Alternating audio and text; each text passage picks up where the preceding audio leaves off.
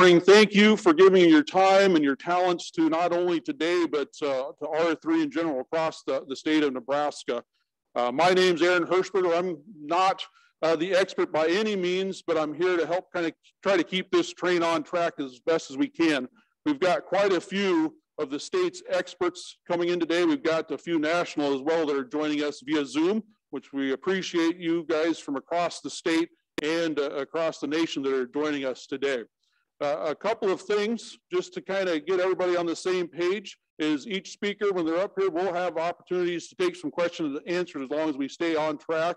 Uh, for those that are on Zoom, be sure to type them in the chat and our very own Hunter will be able to relay those to presenters and ask those to make sure that everybody's included in this. This is the uh, third of size of these R3 summits here in the state of Nebraska. And we were doing some calculations. We, we came up with at least five others that we had in either formal or informal gatherings, but we really do appreciate it. It's great seeing some of the, the best minds and, and folks of action uh, in person today and joining us on Zoom. So that we are very grateful for giving of that, that time and that three hours. This challenge is as important as ever. It's one I don't know if we'll ever officially get to say mission accomplished or that we're done doing it. I think it's just going to transform and evolve into places, uh, new areas, new opportunities. And what's cool about being here in Nebraska is that we're usually equipped and uh, led in the direction to not only challenge the envelope, but also to push it and to create new areas and, and find new opportunities that are out there uh, on the landscape, which is great. And I think there's no better way to kick this off than with uh, Mr. Jim Douglas, our director for the agency of the Nebraska Game and Parks Commission, who's been with us for over 47 years by uh, calculation. I had to take off my shoes to get up that high a couple of times. Last year is uh, nine years as the director, uh, and obviously has been involved with R3 quite a bit over the years. In fact, if you remember, before we even had three R's, we had the RDR plan that came out in 2007. Jim was uh, served as a chair for the steering committee on that. He's been a very vocal uh, proponent for R3 Nebraska and on the national stage, to say the least. And I can't think of any better individual to come on up and, and help set the stage for today's uh, discussions and presentations. Jim?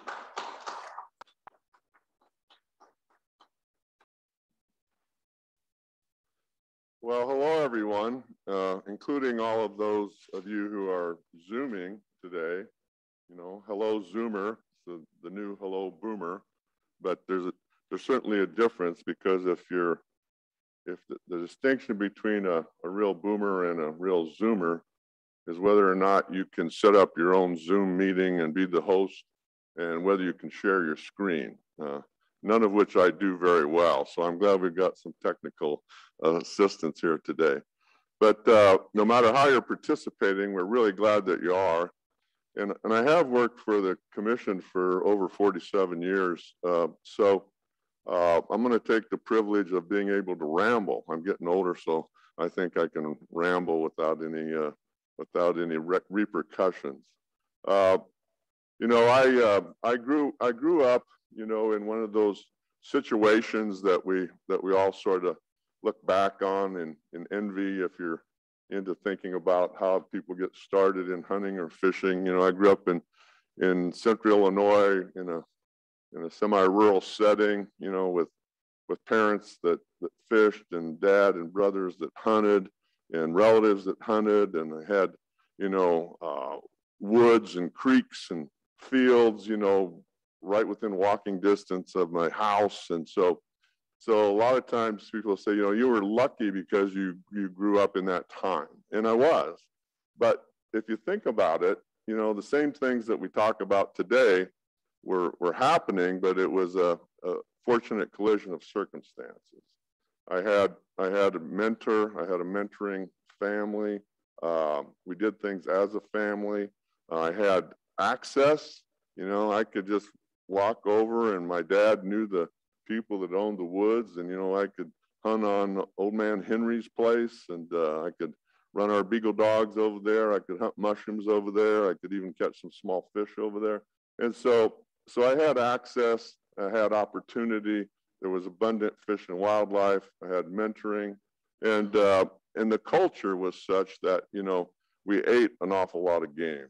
So when we try to replicate some of those uh, conditions today, uh, that's what we do. You know, we're appealing to some of the millennials who want new experiences, and maybe it's because they want to uh, eat some of the game that they, they kill. And when we try to provide mentorship, if it's not occurring uh, within the family, then we, you know, as professionals, we try to find other ways to do that.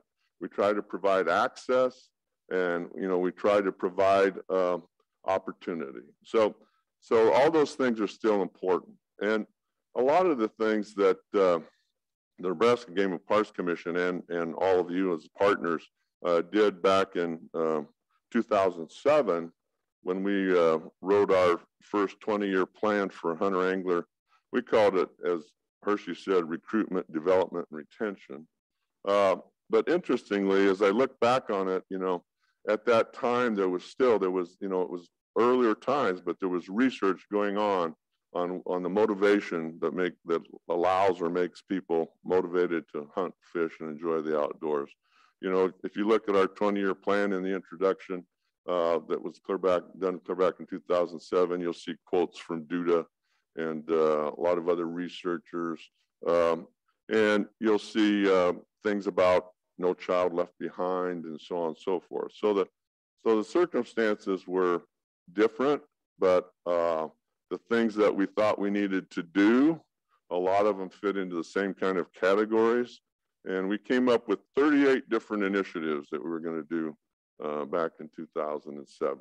Uh, we had to pick the top 15 that we thought were going to be uh, the most beneficial for our purpose and concentrated on those because of capacity you know, the capacity wasn't as, as quite as good in those days. We didn't have as many people trained in some of the things that need, they need to be trained in, in education and in mentoring and so on. And our partners hadn't really um, jumped into the game in the same way they have today. Um, and now we have uh, a lot of additional research and we have national and regional efforts to try to apply the research that we've found. And I think it's beneficial. I think we can do things better. Um, you know, I was uh, asked to be on a panel at the uh, National Convention of Wild Turkey Federation a couple of years ago, and the panel was about um,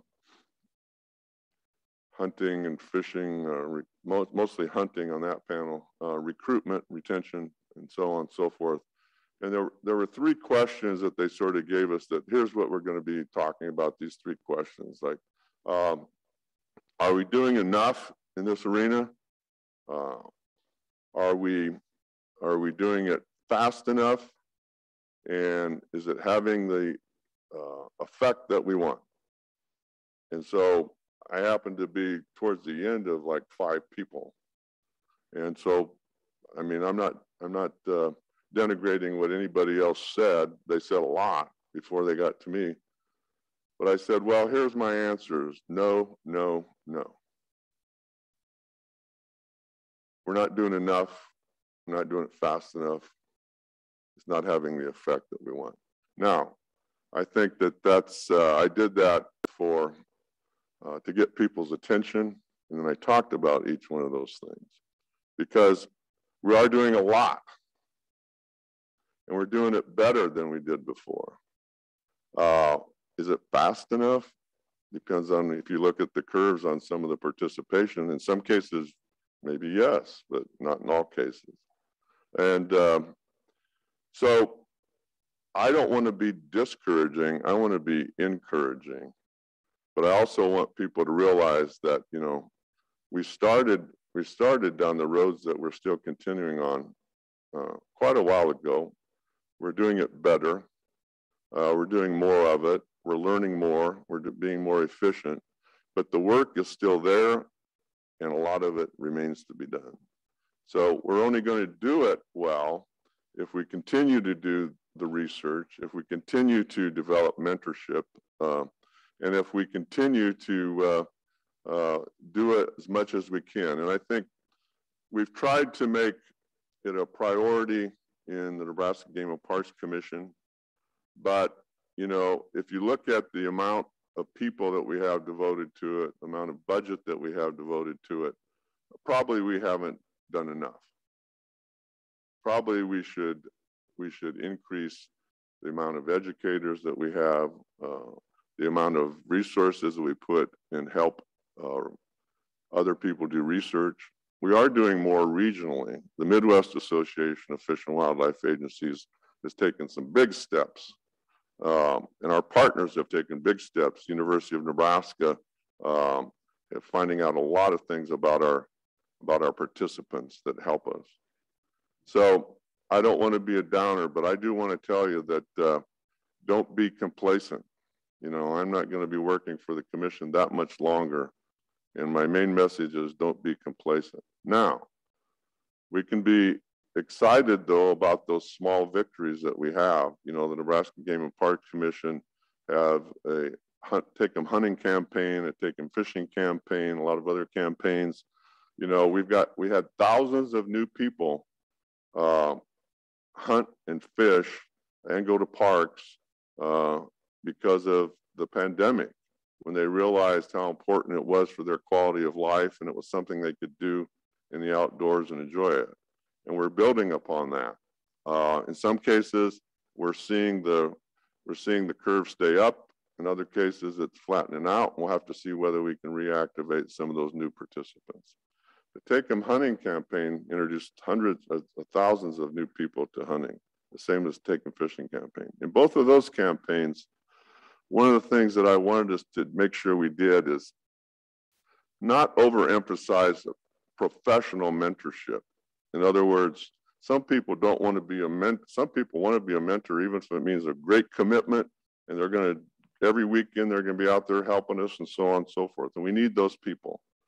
But then we also need the people that just invite their neighbor to go, invite their kids to go, invite their family or their church fellows to go.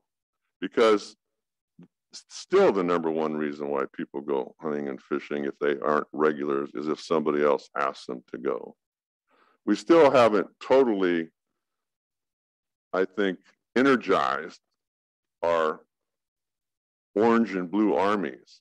All of all of the people that currently hunt, all the people that currently fish, and our campers. We haven't totally energized all of them. Uh, we have thousands, tens of thousands of them. So, so even though we had a few thousand more people ask people to go fishing and a few thousand ask people to go hunting, uh, we have tens of thousands. So the first thing is replace yourself in the activities that you like, whether it's through your family or your friends, and then keep working on it. And do things at the individual level, the professional level, and the group level. And I look forward to today. We're going to learn even more good things about how we can do everything bigger, better, faster, better, and more efficiently. Thank you very much.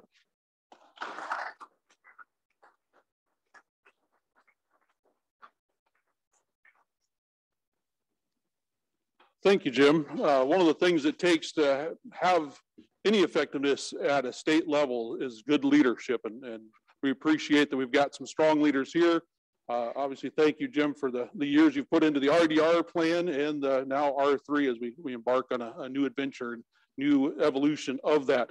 But just to all the district, or excuse me, not only district staff that are here and joining us on Zoom, but also the division administrators uh, and some of the folks uh, that are putting this to work uh, in the field on the front lines that are here today. That's, that's pretty impressive. Uh, now we're going to kind of help set the stage. We've got a lot to cover. We're going to try to stay on track as, as best as, as we can. Uh, and so what we're going to be doing for the next uh, couple of sessions is looking at some of the initiatives, uh, next steps, the access, the research, and all sorts of good things that have been taking place, uh, have taken place, and will be taking place as we move forward in both hunting, recreational shooting, as well as angling. And so I'm going to hand it right over to Mr. Jeff Rawlinson, who is one of the assistant division administrators with communications, uh, that's going to hit on the hunting and the recreational shooting side. And I know he's got several folks that he's going to introduce and, and be part of this uh, team effort. Step over. Oh, we got a flag in the way. All right. Come on up, Jeff.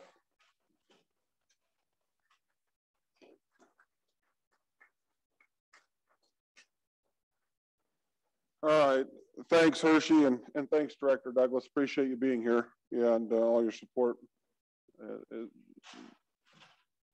lot to talk about, and uh, unfortunately, I don't have uh, the time I want. In fact, they said, Jeff, we're going to give you the most time of any speaker, 30 minutes. And I walked away feeling pretty good about that. And then they told me I had to share it with four people, and I didn't feel as good about that uh, after that. But the four people I'm sharing it with, uh, phenomenal. Yeah, and, uh, and so very happy too.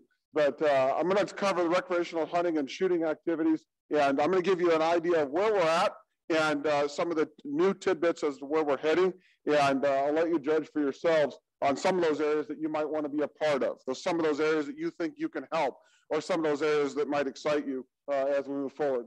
I don't think anybody is going to say 2020 and, and parts of 2021 were, were uh, great years, kind of kind of uh, rough years for most of, of the world for that matter.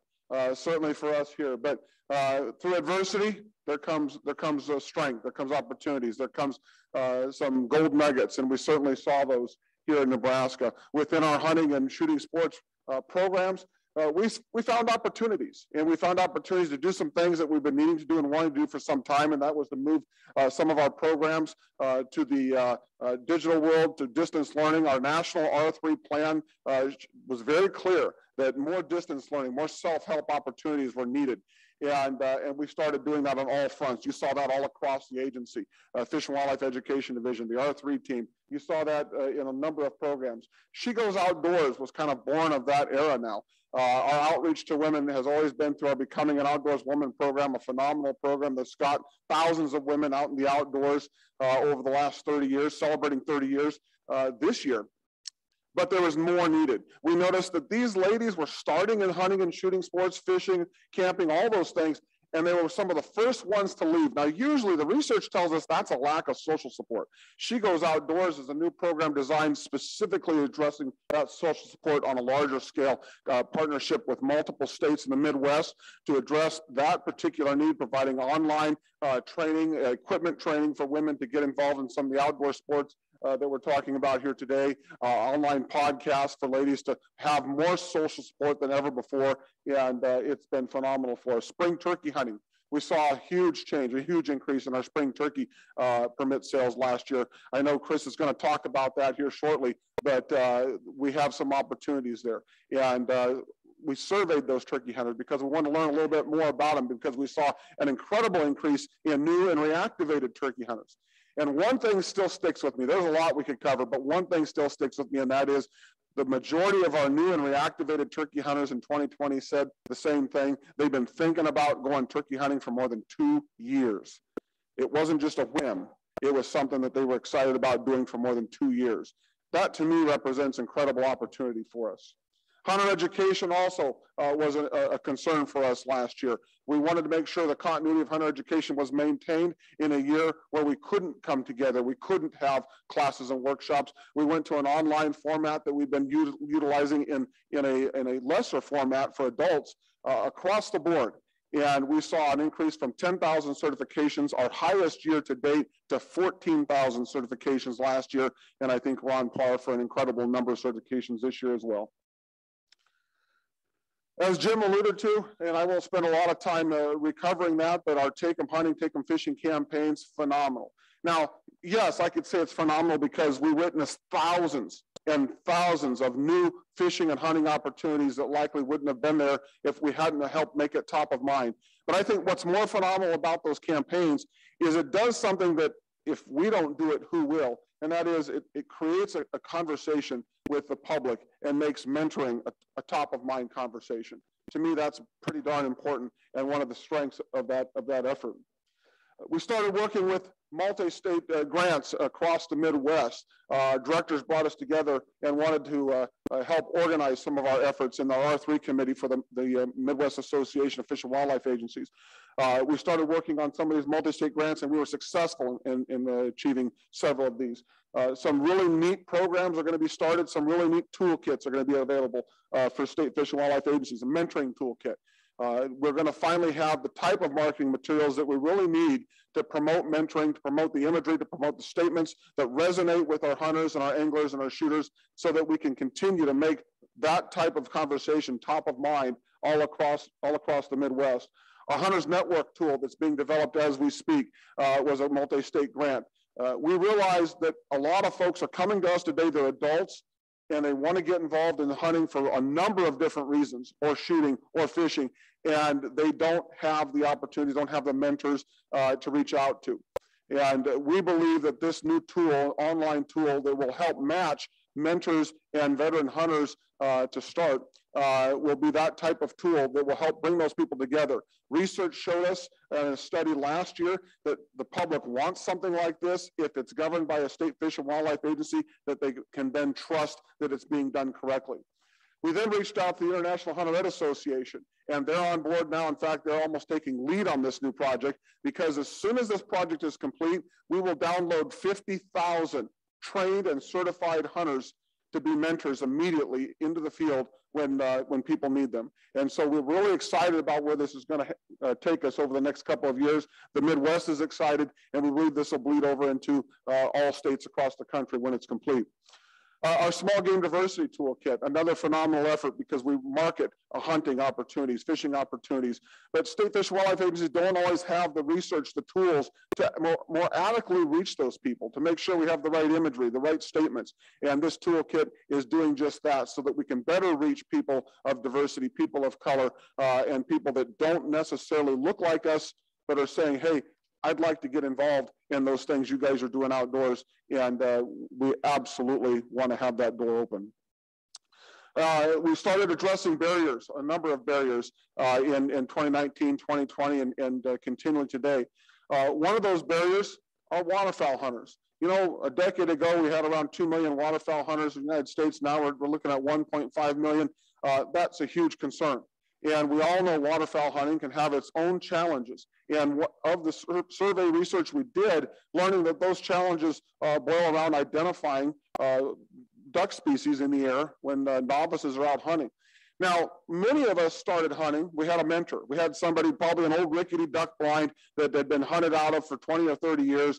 And we had all kinds of code of ethic to follow when we were uh, invited to be guests on that blind. But think about it this way. You're an adult, you want to learn to duck hunt, and you don't have that mentor. You don't have any association with that. And now, misidentify your duck, you're going to be in trouble. That's kind of a concern. Uh, Nebraska and South Dakota came together and were able to implement this year for the first time a two-tier harvest system for uh, waterfowl hunting that's going to, I think, help those novice hunters in a big way. Tier one, just like we always do, you register for HIP and you're able to, with your HIP number, and you're able to go out and harvest a, a, a daily bag limit of up to six ducks, no species or uh, with species and uh, typical sex restrictions. If you register for the second tier, now you have a three duck limit, so it reduces your bag limit, but no species or sex restrictions. So identification during the regular duck season because something that you can work on over the season without having to worry about breaking the rules. We think that's gonna have a huge impact. Uh, we started looking at barriers uh, at the regional level, as Jim alluded to, a lot of regional work going on because things that we just can't easily do by ourselves. And, and some of these other barriers I think are worth noting.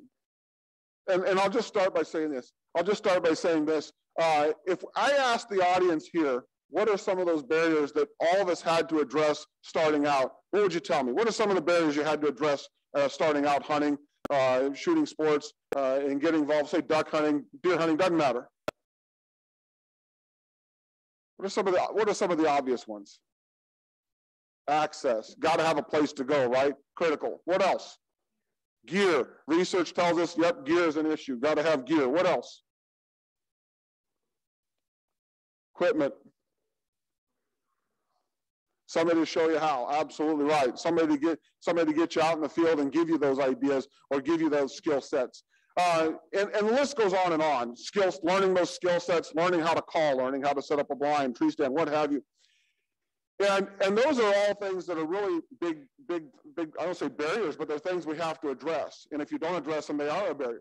But now add all those up and then take in some of the additional barriers that we're learning through our focus groups, through our multi-state grant program, and understand people of color or women uh, taking to the field. They have all those barriers, plus they have uh, barriers regarding their safety.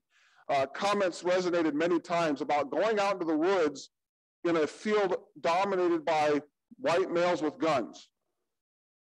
We don't think like that. I don't know anybody in this room that goes opening day. That's that's a concern, right? But other people do. And the list goes on and on. And if we don't address those barriers, or at least recognize that those barriers exist, we're not really extending our hand to those folks. We're just kind of giving it lip service. And we in Nebraska have been starting to address those barriers. I'm very proud of the, some of the things we've done in our agency. But certainly we have a ways to go, and certainly nationwide we have a, a, huge ways to go to start addressing some of those barriers, and or at least recognizing some of those barriers exist, and uh, helping to understand how do we address them moving forward. Uh, in Nebraska, uh, some of our uh, media efforts, I think, are what I would consider uh, uh, incredible compared to a lot of states across the country.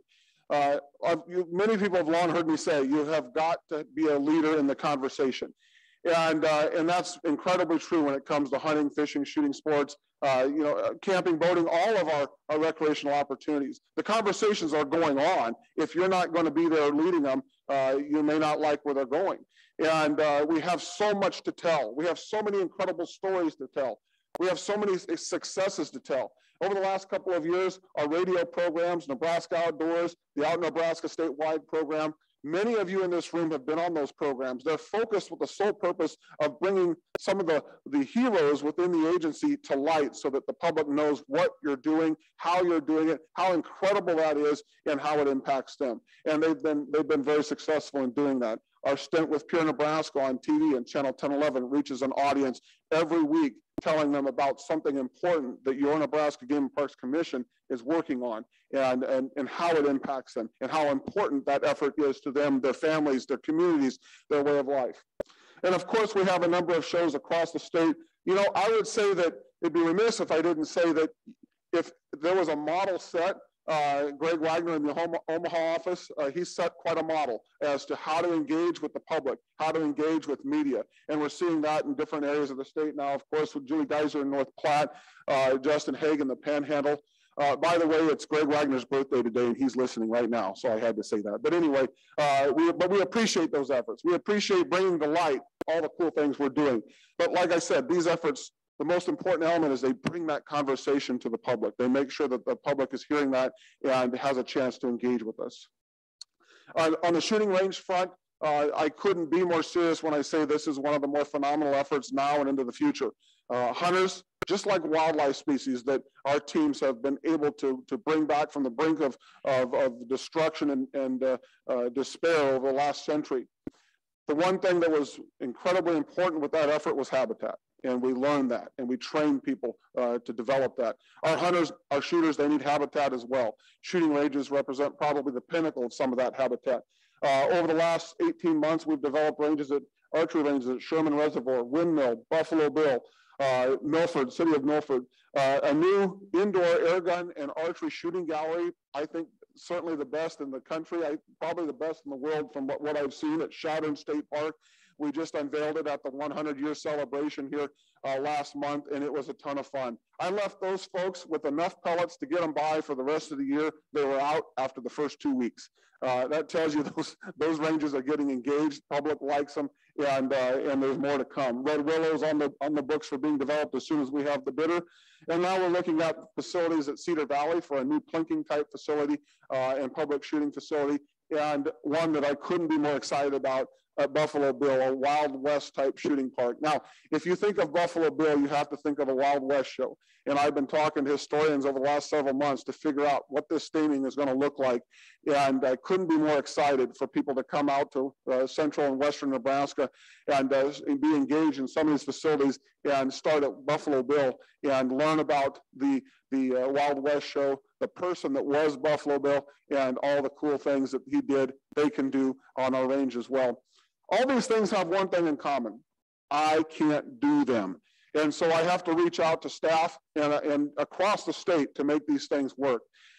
We are blessed. In a time when I hear other R3 folks talking about, yeah, it's tough in my state to get everybody together to, to support some of these things, uh, I have park staff calling me saying, hey, Jeff, we have an opportunity for an archery range. Come out and look at it. Uh, we, we, we have a, a, range need in North Platte, Nebraska, and the staff invites me out. We look at an area and we put something together that we think will serve the shooters and the hunters in the state for years to come. Folks, that's cooperation, that's teamwork, and that's exactly what makes the things like R3 happen. Uh, we have more ranges to come with our uh, changes in our federal aid here in Nebraska, more things happening on the landscape. Uh, our 75-25 ratio for federal aid to build these projects has now changed to 90-10, meaning we have 10% uh, the cost of the project that we leave on the table, 90% covered through federal aid, and a lot more to come. One thing we noticed is that shooters, recreational shooters are now making up the bulk of our fish and of our wildlife restoration funds across the country. Uh, an incredible opportunity, incredible partner. And I'll leave you with this. 13 years ago, as Jim alluded, we created the RDR plan. We, we, we, we didn't have a lot of research, but we combed through the research uh, quite a bit to develop that plan. Uh, it was very hunting uh, and shooting and, and fishing focused. Today, we're going to embark on a new plan. This plan is going to be something the country has never seen before. We're highlighting five different recreational opportunities that we're going to embark with this plan, hunting, recreational shooting, fishing, camping, and boating. We're assembling a massive team to put this together, help from the outside world to consult, and we're going to put together a plan that will have meaningful impacts to Nebraska over the next several years. We couldn't be more excited about that. Doesn't happen without a lot of team support. Uh, and I'm reminded by a comment that our director has said many, many times when it comes to planning, and that is, if you don't have a plan, you're likely to become part of somebody else's plan. And you may not like that plan. and uh, folks, we've been leaders in R3 for a good 14, 15 years. Uh, I think we're going to lead the, the nation in another great plan, and I couldn't be more excited about that. Uh, now, any questions before I move on? Supposed to wait 37 seconds. I, I can't take it. Okay. Uh, that said, I've got a, a, number of folks who are going to come up here as well. Uh, the first one I'm really excited to introduce because he's been an R3 warrior uh, here in Nebraska with the Parks team, uh, helping to get some of these facilities uh, moving on the ground and programs on the ground uh, in parks across the state. Our Parks Director, Jim Swanson. Jim?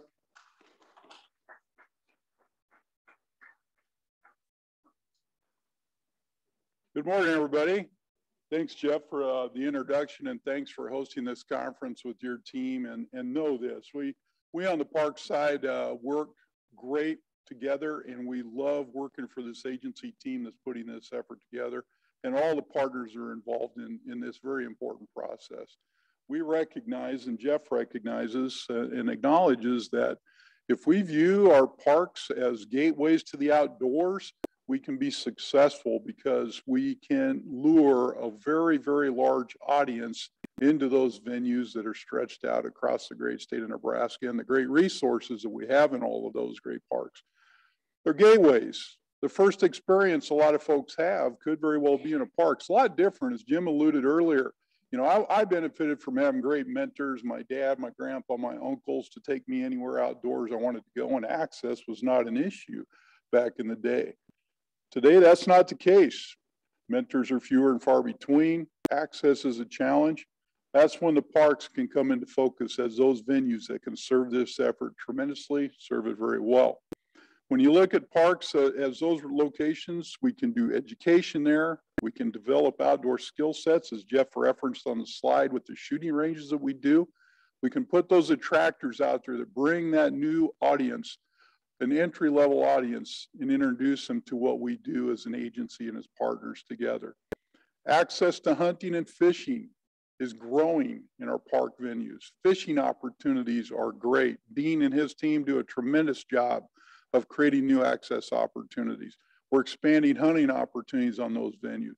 They can serve as mentored hunts, and we've got some representatives from the parks in the room today that have done a great job of that very thing to help carry that R3 message forward. I commend the leadership in this agency for recognizing that parks can be those gateways. We can be those classrooms, those venues for learning and exposure to the great things that we do as an agency outdoors. Great leadership recognize that. It's great to be a part of the R3 plan, and our parks team is committed to doing what we can to push it forward. We benefit tremendously from millions of visitors we we're not necessarily in the struggle that some some of our partners in the agency are at this point in time but we certainly are on board to help and we've got the force that can do it out there to accomplish great things again we're the entry point we've had many successes uh, as i've alluded to and uh, there are many, many more to come. Parks are honored to be a part of this program, and uh, the team is, is equipped and ready to do that. I know that Jeff and I, when we sit down together, there's great energy there. We start looking at potential things uh, across the state. And I've been a part of his uh, uh, enjoyment level there when he sees and understands the reward of opening those new shooting facilities on the landscape. That day at Chadron for the centennial, uh, you know, it was a dual celebration, 100 years of our state parks, but also the introduction of a new avenue to get people into the outdoors and entice them into the shooting skill sports, hopefully into, into the hunting venue, and also seeing the fishing activity at that historic pond there. So Parks are the venues where we can help utilize this to the greatest uh, potential that we can, and we're here to support all that. Jeff, I thank you and Aaron and the team uh, for everything you do, and I thank the agency team for the support you give us as well. So thanks, and we're looking forward to great things.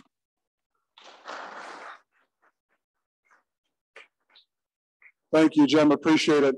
Uh, next up, we have uh, been blessed to be able to uh, have a position in Nebraska, a hunting and shooting sports recruitment, retention, and activation coordinator uh, hired with the, the, National Wild Turkey Federation.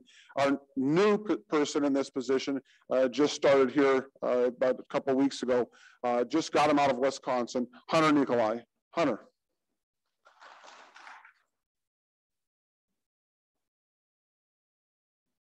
Good morning, everybody. Uh, thank you, Jeff. As Jeff said, my name is Hunter Nikolai. I am the new recently hired hunting and shooting recruitment, retention, and reactivation coordinator for Nebraska. It really is a pleasure to be here among some of the great R3 minds in Nebraska, whether that be with the commission, uh, with a nonprofit conservation organization, and most importantly, as a passionate volunteer. Um, a little bit about me. I, I grew up in Kenosha, Wisconsin, an urban city of about 100,000, smack dab in the middle of Chicago and Milwaukee. Um, we would go up on weekends and for trips to Washington Island, Wisconsin, where my ancestors settled, and my dad and brothers and uncles and grandpa would hunt deer, turkey, uh, small game, and I really, uh, really was lucky to to be able to have that social support uh, to get me into hunting and angling and also have a great opportunity for access, which we all know is a, a big barrier to entry. Um, my passion for hunting and angling uh, took me to the University of Wisconsin, and I'll, I'll pause for some booze there, uh, where I studied wildlife ecology. Um, uh, and after that, I went directly to the Wisconsin DNR for the past two years, where I worked as the R3 and Hunter Education Program Assistant. Um, and in that role, I coordinated the state's Learn to Hunt program, which sees about 1,200 to 1,500 participants go through that each year. Um, and then also this past year, I had the honor to serve as the acting hunter education administrator uh, for several months during COVID, where Wisconsin, like Nebraska, adjusted uh, their hunter education options to all online. And, and Wisconsin also saw about a 3,000 participant increase in hunter safety certifications this past year. Um, additionally, in that role, I've served on the MAFWA 3 committee with Jeff and Aaron Hirschberger, uh, working right alongside them on that Hunter Mentor Network that's getting ready to be launched, as well as many other things. Uh, as you entered today, you might have saw the Midwest R3 newsletter.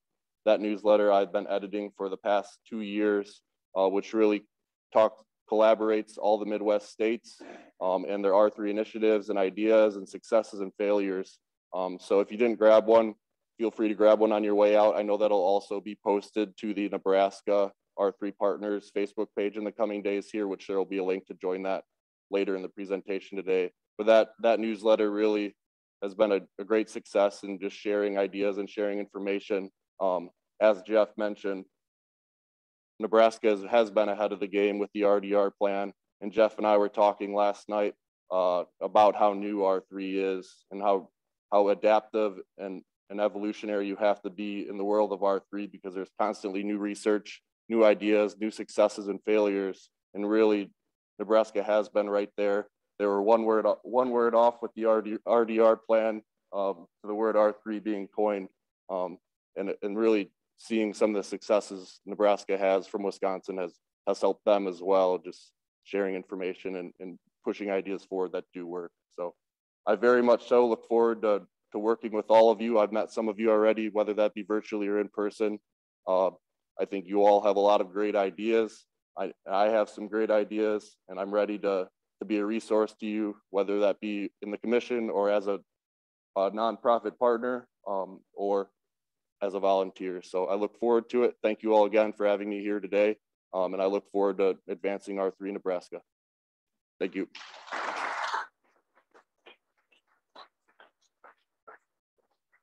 Thanks, Hunter. Appreciate it. Anytime you want to come talk about how Nebraska uh, does something better than Wisconsin, you're more than welcome to have the podium. Uh, next up, and finally, uh, Molly, uh, Holly Malsling, uh, who is our R3 uh, person with Pheasants Forever, to talk about the Next Steps program, another new effort that's gaining quite a bit of ground here in Nebraska. Holly.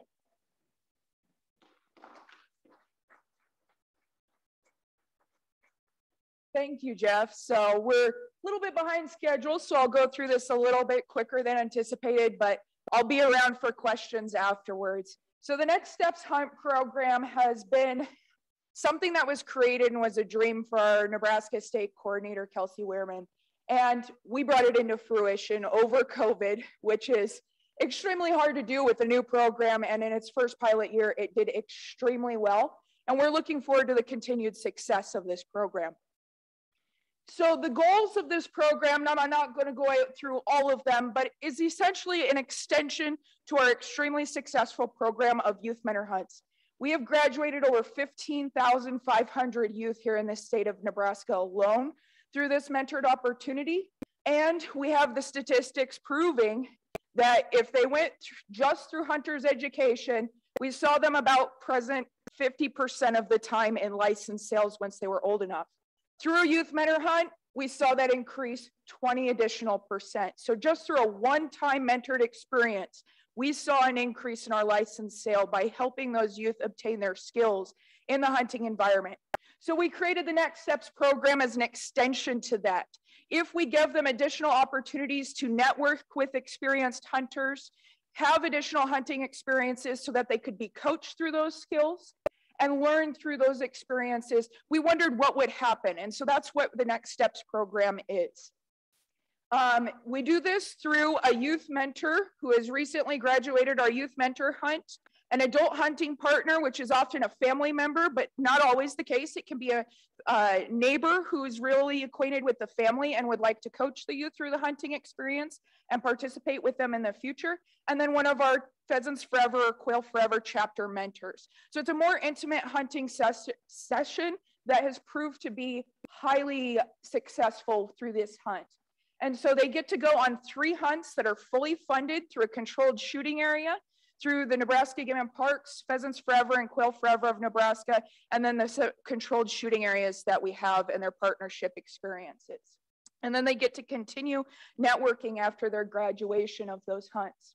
So year one, again, I'm not gonna go through all of this just to save some time, but we had all of our goals met for the program and even some additional ones that we weren't expecting. And again, all of this was through COVID. So this was extremely surprising to have come through, but extremely successful in the same manner.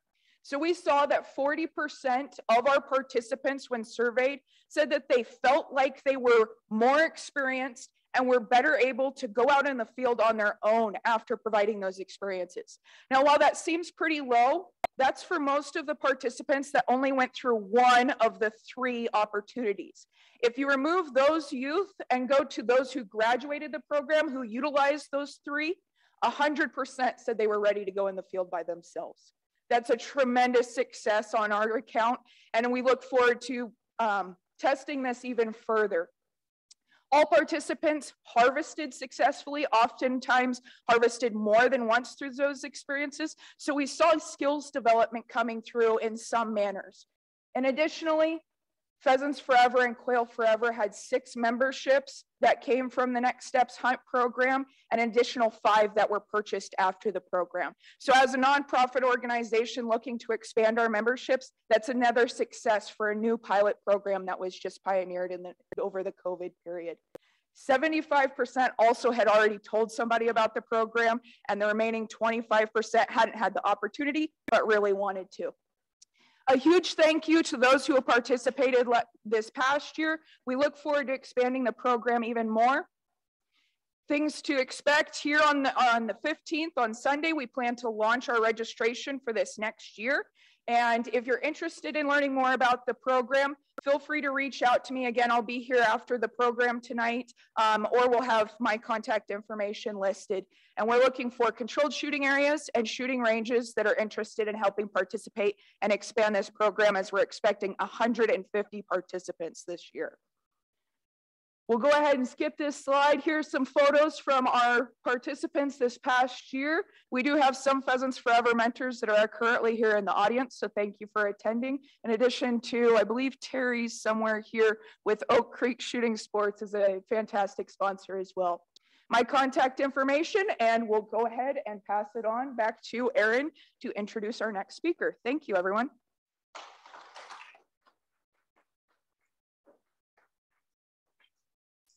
All right, a lot of cool things happening in hunting and uh, shooting sports. Uh, we're going to jump right into it so we can stay on track. We got a little buffer in the, the break, so don't uh, skip on us. We've got two tag teaming this one. We've got our very own Larry Pape, who I'm going to hand it over, and then he'll introduce Dave from the uh, National Recreational Boating and Fishing Foundation. So, Larry.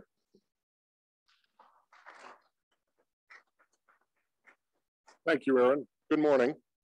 Um, in regards to, where are we at? All right, in regards to angling R3, I'm gonna, I'm gonna address a cross section of resources, activities, ideas, and old and new. Um, I'll give you a few examples of incredible partnerships that have been that we've created, um, including those that have made, been made by the, um, you know, this unfortunate pandemic. We've learned a lot from it. Um, unfortunate reality. Who's bought their fishing license this year? Come on, hands up. Well, you're not out of time yet. September's still a good time. In regards to people who haven't bought, they're called lapsed anglers. Uh, last year, if you were identified as a potentially lapsed angler, you may have received a card, a, uh, an email, or a, a, postcard that was similar to this. Uh, what's a likely angler? Well, that's a fishing permit purchaser from the previous year who has yet to purchase one this year, who is unlikely to purchase one in the following year, right?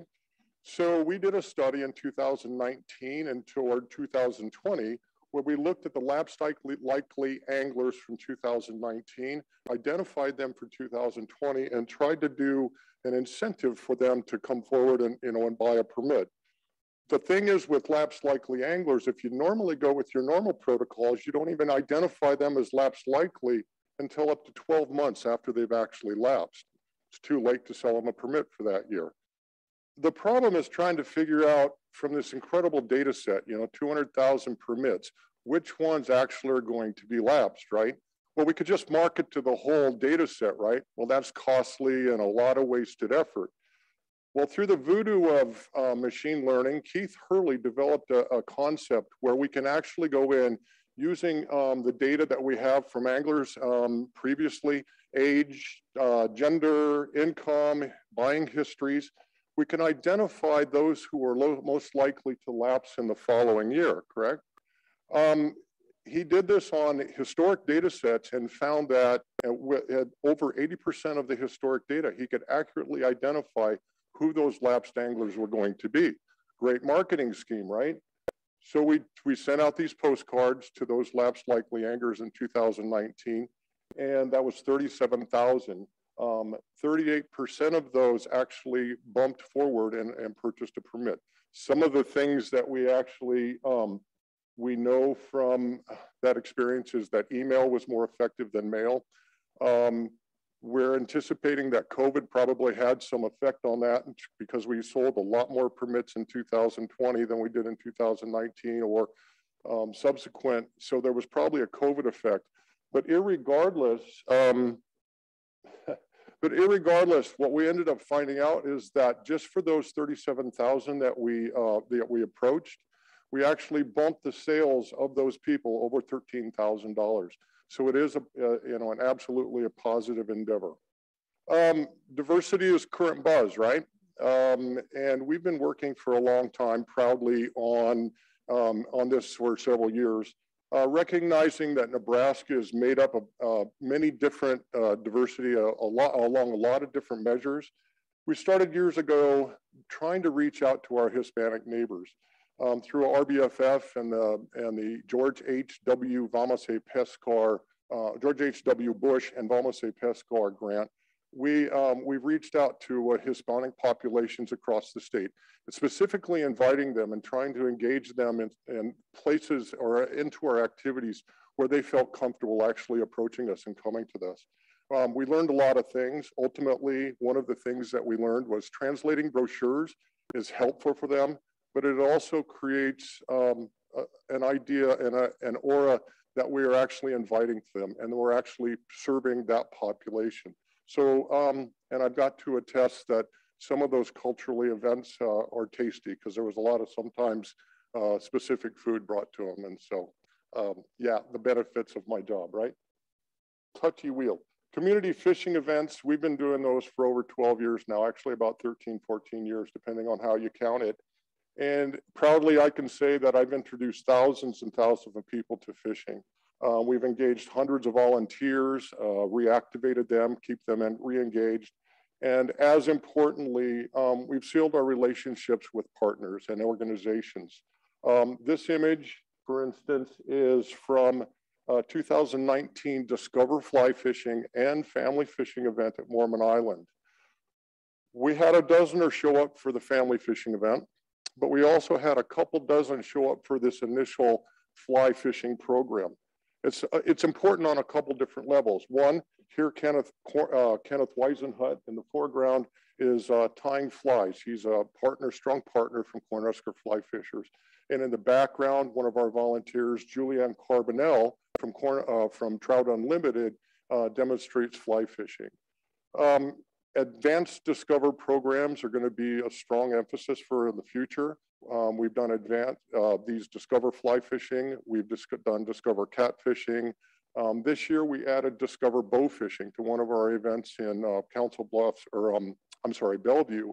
And um, we were encouraged because we got incredible turnout just specifically for that Discover fly fishing. It's important on the levels in that we're approaching, we're getting people to come to those events for that specific endeavor, that next step kind of activity, but we're also engaging groups that discover bow fishing, engage bow fishers of Nebraska, and they came out in strength to help support us, support themselves in that program. So that discover next step process is really important to us. Okay, so the Nebraska R3 working group has uh, three different emphases, and one of the strong emphasis for angling R3 is that of partnerships.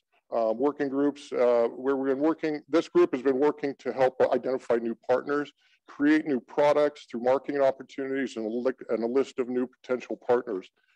Um, one of my rock star organizations is the Cornhusker Fly Fishers. And they've been doing activities, R3 activities, long before we initiated the idea of RDR or R3. Um, they've been doing, um, for instance, um, the, the fly casting, the fly workshops at Schramm Park for years.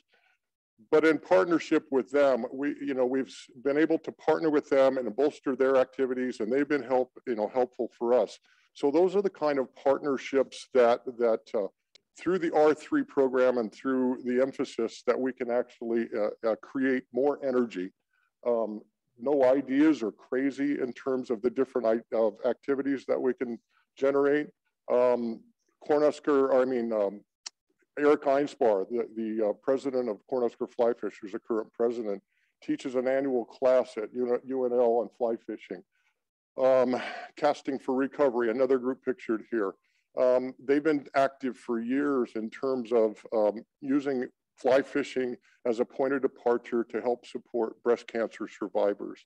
One of the new ones I'm really excited about, and with the support of John Wright, who is a Healing Waters representative for Trout Unlimited, um, we've partnered with them in, in, for instance, our partnership we did a program at NOEC where we uh, created fly rods or we built fly rods. That's part of their program to support veterans. And we opened it up to the public. So we actually, we had 15 veterans and we had five people from the public. And we built some beautiful fly rods and it's that next step outreach. Fly fishing, I'm encouraged because um, what we're seeing is that a lot of the 20, to 40 set are really engaged with that. It's a very aesthetic thing. And, and um, so this fly, whole fly fishing approach is appealing to me in terms of actually generating a new class of anglers, a new energy. COVID um, kind of pitched us fits, right? But fortunately at Game and Parks, we have a really strong team, a very creative team. And last year in May, when I came to realize that I wasn't going to be doing my programming throughout the summer, um, Jerry Kane from our communications department came to me and asked if maybe we couldn't uh, just knock out some information to bring people back to our resources, our online resources, our web resources. And he came up with the idea of using short 600 word articles that are press release kind of style and putting those out to media sources across the state to see if we could generate a little more interest in terms of just coming back to us. So when he and I wrote uh, seven articles across the summer of 2019, or I'm sorry, 2000 or 2020, and um, put those out to papers. Those had the intention of teaching people about our resources, teaching people about our topics, and then guiding them back to our website. Uh, the pickup was incredible throughout the summer. We, we saw well over a couple hundred pickups of local papers throughout. So we, um, we continued that enthusiasm and went into the fall and used that to promote trout fishing. Whether that actually improved the attendance at our the places we stock trout in the fall, I'm not sure. But I know we got well over 50 to 100 uh, pickups with the media sources around those areas that we normally wouldn't have gotten exposed. So due to the creativity of Jerry and, and we just took some free time that we had fortunately because of COVID and, um, and we generated a lot of buzz that came back to our resources. And I think we've discovered that, you know, that's a new method in terms of actually creating some buzz and getting it back, getting our information out and getting things back to us. So um, one of the things I've known is that I can't stand still. And in terms of what we do and how we do it, we were fortunate in that um, we added one more trailer to my fleet of nine in the state. This is uh, the first catch center from the from the Recreational Boating and Fishing Foundation. Um, this one, um, I say it's energizing because it's brand new, it's shiny, uh, has a whole new concept a new set of gear that was uh, supplied by Bass Pro and Cabela's, a lot of new partnerships. Um, but I know from experience, we've had trailers for over 20 years. We know the utility of them. We know the importance as billboards, as energizing um, centers. And so this new, uh, this new trailer we've used throughout this past summer um, at programs for in Omaha and Lincoln our community fishing, as well as the Centennial Park celebrations across the state. Um, I'm encouraged, just in a little FYI, we have nine of these. The original one was uh, built in uh, 99, to, uh, and that's just the workhorse. It's part of our loaner program now um, that fisheries uh, and staff can use to do their programs. Um, the old workhorse we have that was built in 2011 is the family fishing trailer. It holds about 150 rods and reels ready to go. Um, that's the one we use for large events. This is, of course, the new one the RBFF First Catch Center, um, and it's the one we're going to use to bolster our, our new um, Discover program and all those special programs. We also have six trailers positioned across the state. They're little four by eight trailers that are loaners that uh, volunteers and staff can pick up and then go do their programs. You know, instantly you open up the door and you have 50 rods and reels ready to go. So so with that, I'm going to wrap up and get us back on time. I see Aaron knocking on the door back here. Um, and uh, any, do we have time for a question or two? All right. If not, all right. So uh, our next presenter, um, I'm proud to introduce. His name's Dave Chanda. He's president um, of the Recreational Boating and Fishing Foundation. Uh, he's very instrumental in the R3 nationally, but he has been really fantastic for all of us on the state level. We've appreciated grants from him to do everything like the lapsed angle likely to this first catch trailer. Um, fantastic organization, an absolutely creative and wonderful gentleman. So with no further ado, I'd like to present Dave Chanda.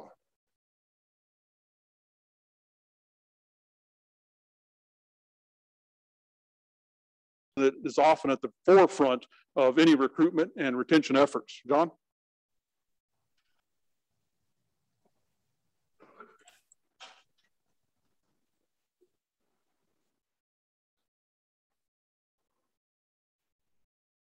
Fishing's not for me here. Yep. Well, thank you for the invitation to chat today about, um, you know, something I'm very passionate about, public access. You know, that was brought up earlier in discussion about the importance of that as one of the main barriers to R3. We all have seen that change over time. Um, today, most of my short discussion here will be primarily about Open Fields and Waters program, uh, increasing access on public lands. So uh, the 97% stat was thrown out earlier. It's no surprise. Um, one of our, our main areas we can gain access is going to be on private land in the state. There we go. Um, yeah, so the importance of access obviously can't be underplayed. Um, a, number of things. Uh, we document this in a number of ways, right? Uh, we talk with hunters.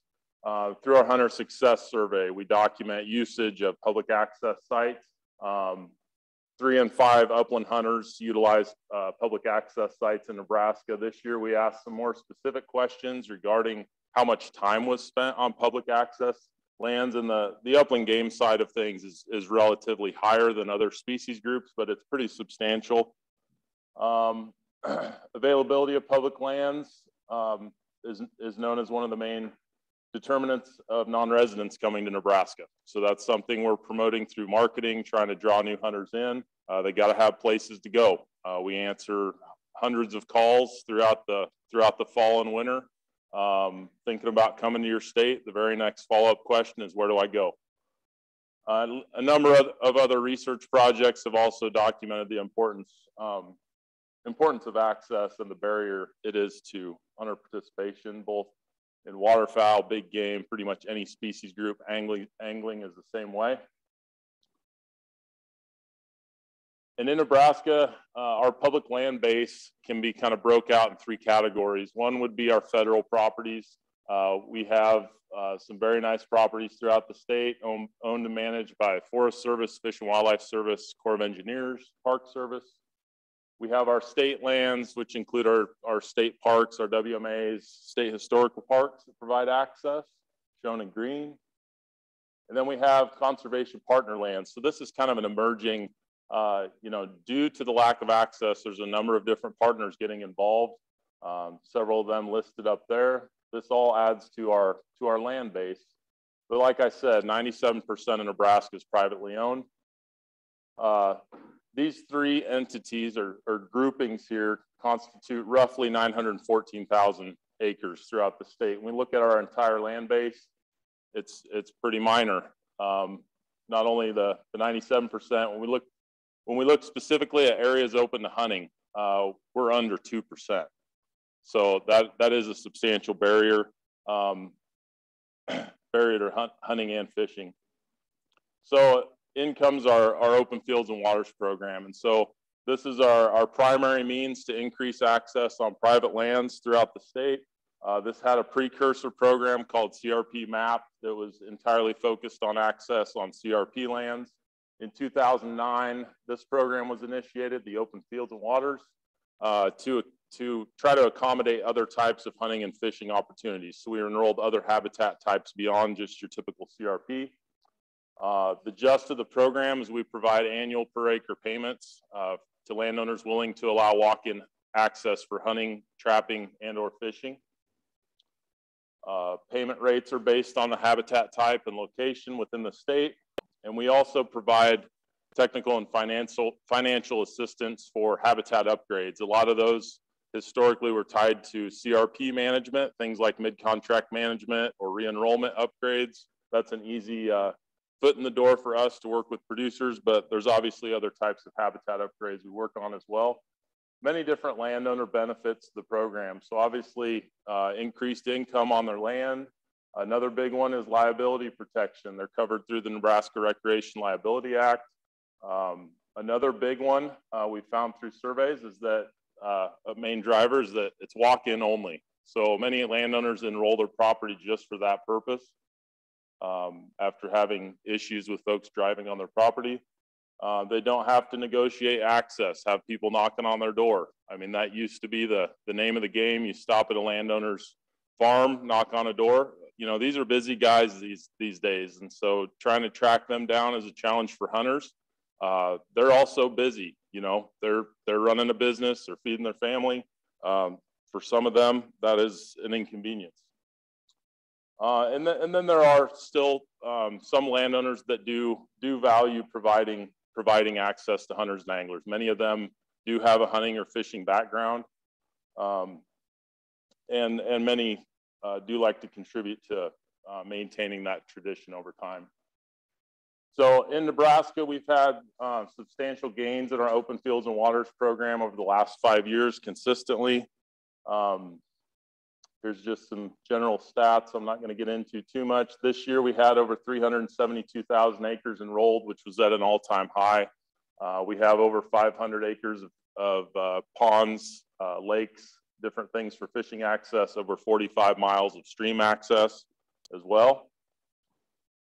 So when we, we go back to this map, like we said, uh, roughly 2% open to public access. When we add in this additional uh, you know, 370,000 acre land base and open fields and waters. This brings our total, you know, and you notice that that's a fairly big jump that's fairly visible on the map and how that fills in a lot of those gaps. Um, we're up to 1.2 million acres. And so it's interesting that a lot of people bring up access as, as one of the primary barriers. Uh, you know, one thing we can say fairly confidently is there's more public access acres in Nebraska today than there ever has been. You know, but access is still challenging on those other private lands, you know, and so we're constantly looking for ways to to adapt the program um, to to try to encourage even more uh, access. So uh, we prioritize enrollments in a variety of different ways. Uh, one way is through varying our payment rates. We have to pay typically higher values in the east with higher higher land values, um, higher rental rates. Um, so we had population rate zone where we provided higher annual payments. In recent years, most of our emphasis has been tied in with our Berggren pheasant plan and increasing opportunities within these priorities throughout the state. Uh, the reason I bring these up is, uh, you know, when the program first came about, it was it was really kind of shotgunned out there. We we wanted access, we wanted every type of access. We'll take it wherever we can get it. We still have to be very opportunistic, but I think over time with the R3 movement, especially, we're, we're finding more and more we need to be more strategic. And so, uh, you know, we're taking input from hunters and anglers through various surveys, um, utilizing research we've done with UNL um, to come out with a strategic plan to help guide the future expansion of the program uh, and, and be able to adapt the program to changing needs of today's hunters and anglers. So all of these properties enrolled in open fields and waters, as well as the other federal, state, and conservation partner lands are consolidated in our public access atlas, which is one of our agency's largest uh, publications each year. We also have made some, some big, uh, big uh, improvements with several online, online versions. Our main one is our interactive atlas map shown here. Um, this provides the user the ability to, to look at aerial imagery, do pre-season scouting, click on a site, find individual site details, in this case, even links to the website uh, for the, the specific public land that they were on to find more details. Funding for our program are, is primarily through Pittman Robertson funds and, and habitat stamp sales.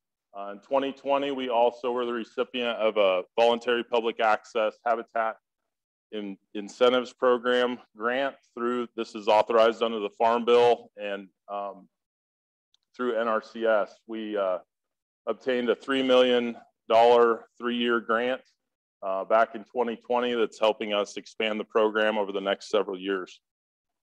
And lastly, we do have uh, various conservation partners that do contribute to the program as well, direct contribution, uh, some assist with the printing of the atlas, different things like that. Uh, we also, uh, that would be pr predominantly quail and pheasants forever.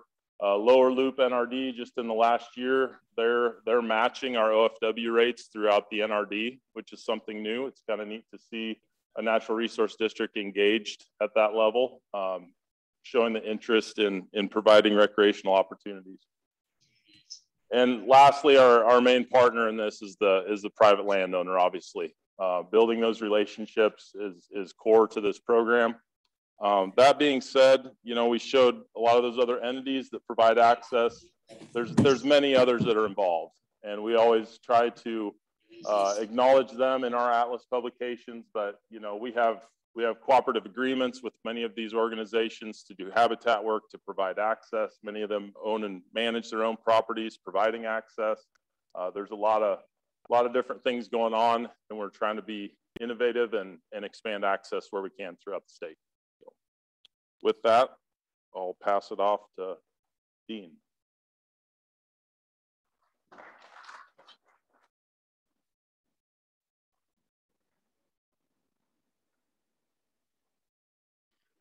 Okay, unlike with some of the hunting opportunities, fishing, we have a lot of different opportunities out there. Uh, access is typically not a problem.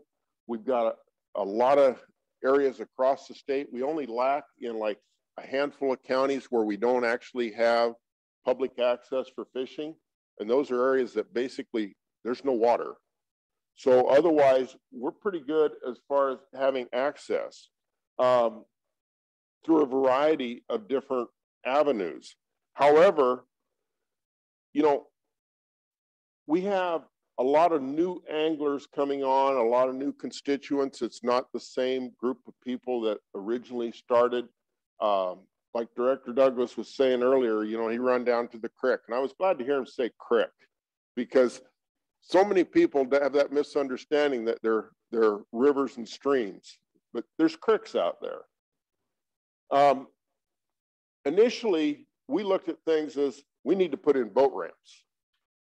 And, you know, this is great if you own a boat, but a lot of people don't. And then, you know, a lot of times those boat anglers, they get upset because they see kids and people out on the docks fishing because it's easy access. Well, it took us a while to figure this out. You know, it's not all about just boats and having access there. People want easy access to a lot of these areas. You know, we've also incorporated for kayak launches. This is something new. Um, one of the things that the sport fish funds allocate is specific dollars for boating access. And it's all boats. So we're able to put forth some effort and, and move the kayakers away from the motorized launches into their own launch sites. It, it eliminates the conflict between the different types of users. And then, you know, about 24 years ago, there were some really sharp guys that came up with an idea about an aquatic habitat stamp to fund additional monies to restore some of these lakes. We're, we're fortunate to have the sandhill lakes, the natural lakes, but the majority of our lakes are irrigation reservoirs, flood control reservoirs. Um, they're, they're not designed long-term for fishing or recreation. So some of those had to be redone. And, you know, there's a variety of ways to do these things. And about 2010, we were able to have money specifically allocated for access, angler access out of the Aquatic Habitat Fund. This Aquatic Habitat Fund is something that was new to the country. Uh, we have a number of other states that are trying to model after this program. But with Angler Access, you have to focus on the different types of users. You have your urban areas, and they may want different aspects to, to their use than somebody fishing a natural lake. So with the urban areas, they want it in a park-like setting. They want it family friendly. They want it, you know, they want a restroom nearby. They want all the amenities, the picnic tables, the playground equipment. Most kids have a, a short attention span, so they want to be able to have all those amenities. Some of our state park areas are ideal for this situation where our park users go out and use these and they have fishing opportunities in those areas and it provides that safe environment.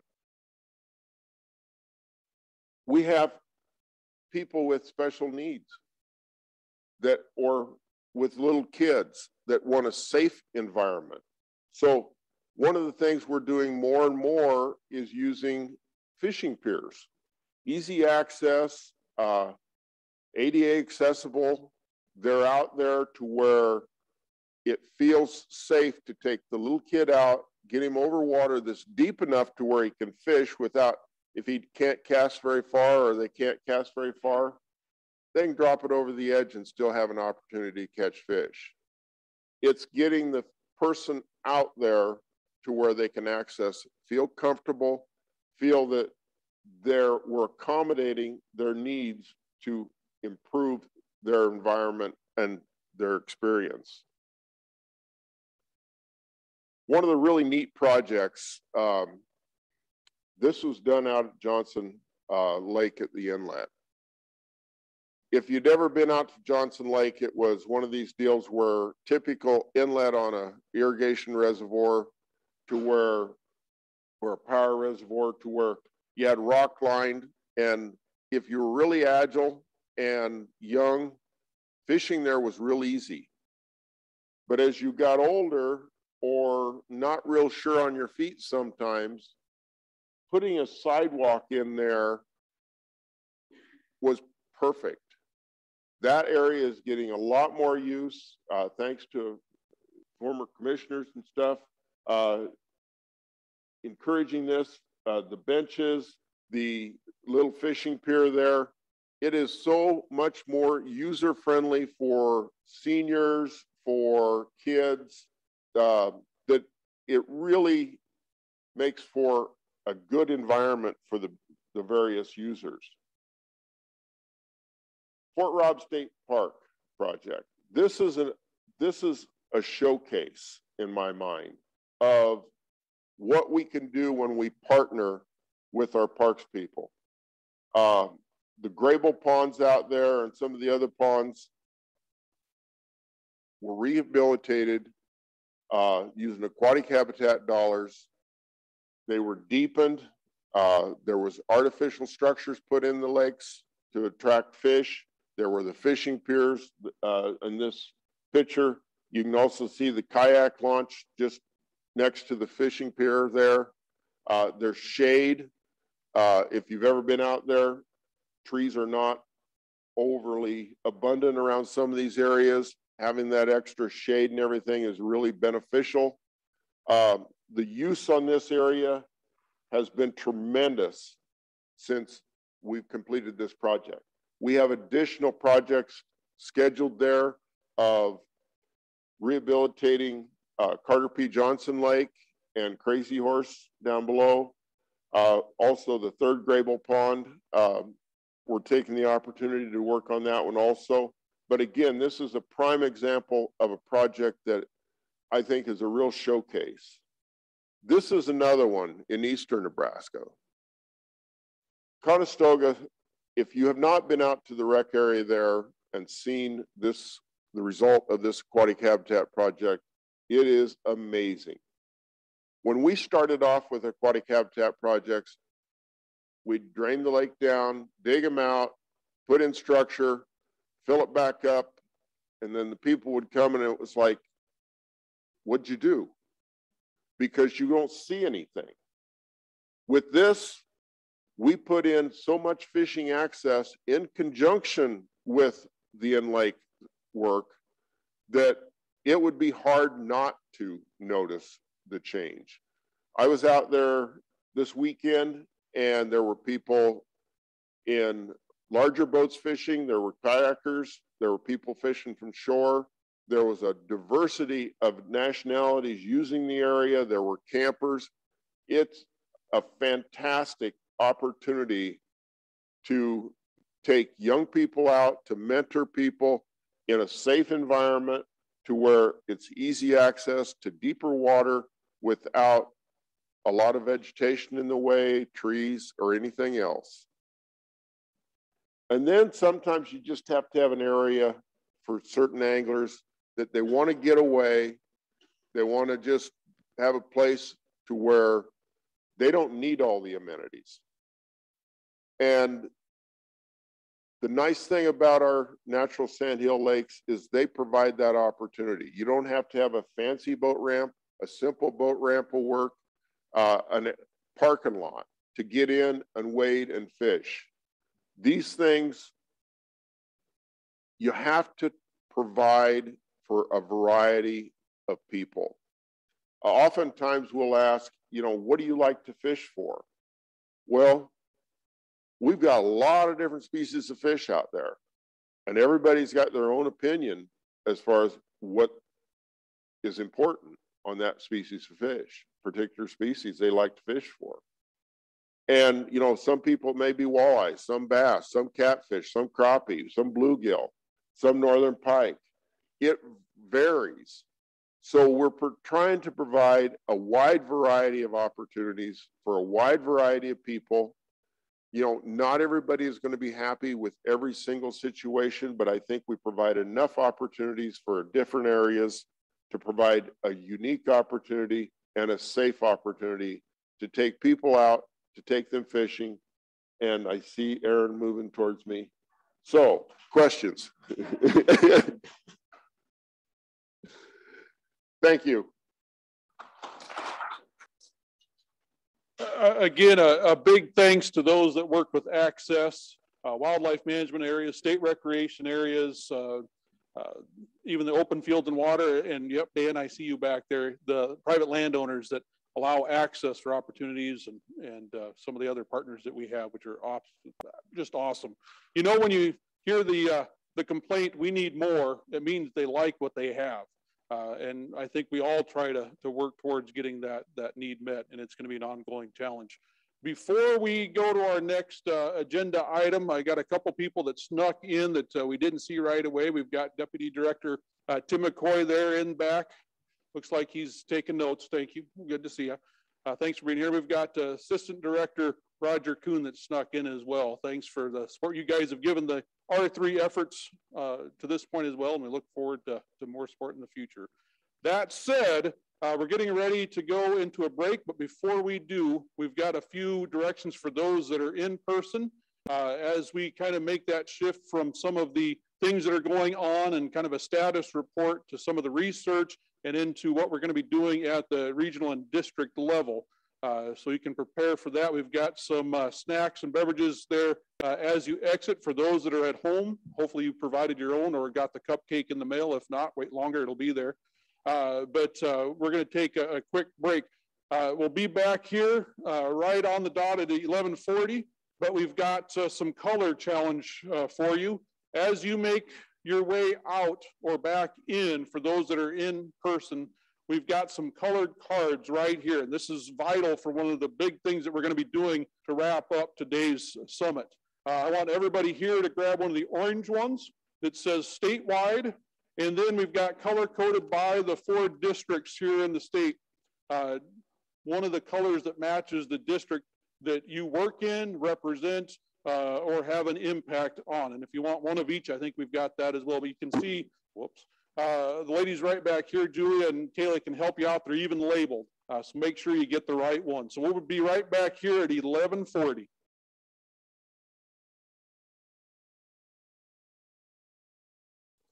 Right back in uh, on track for uh, the rest of the agenda.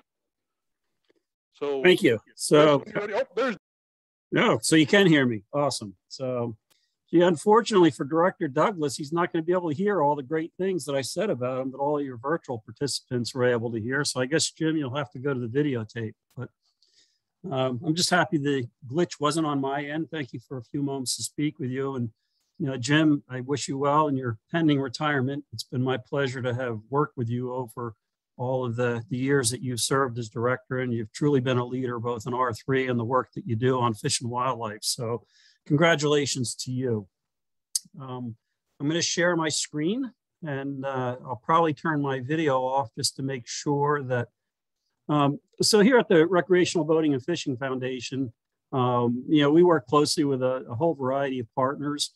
Um, one of the great things about fishing, though, is we know that uh, fishing participation has continued to grow over the past uh, 20 years or so.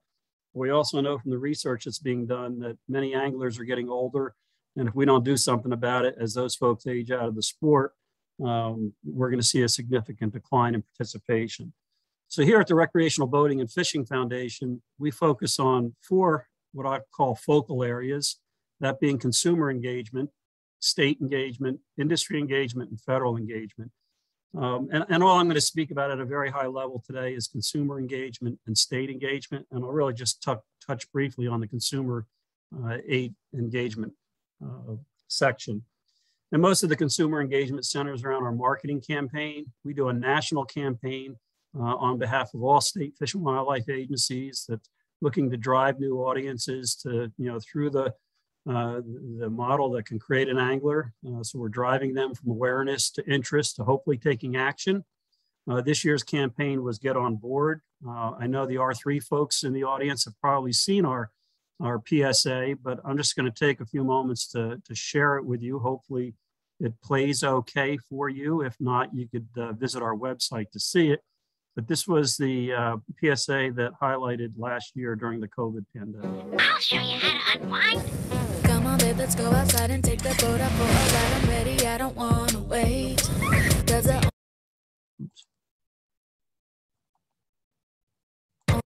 only time I'm feeling free is when I got that ocean breeze, so kicking it out on the lake. Get on board. Got the sunshine and the short line. It's a good life. Get on board, get on board good time, casting that line. It's a good life. Get on board, get on board.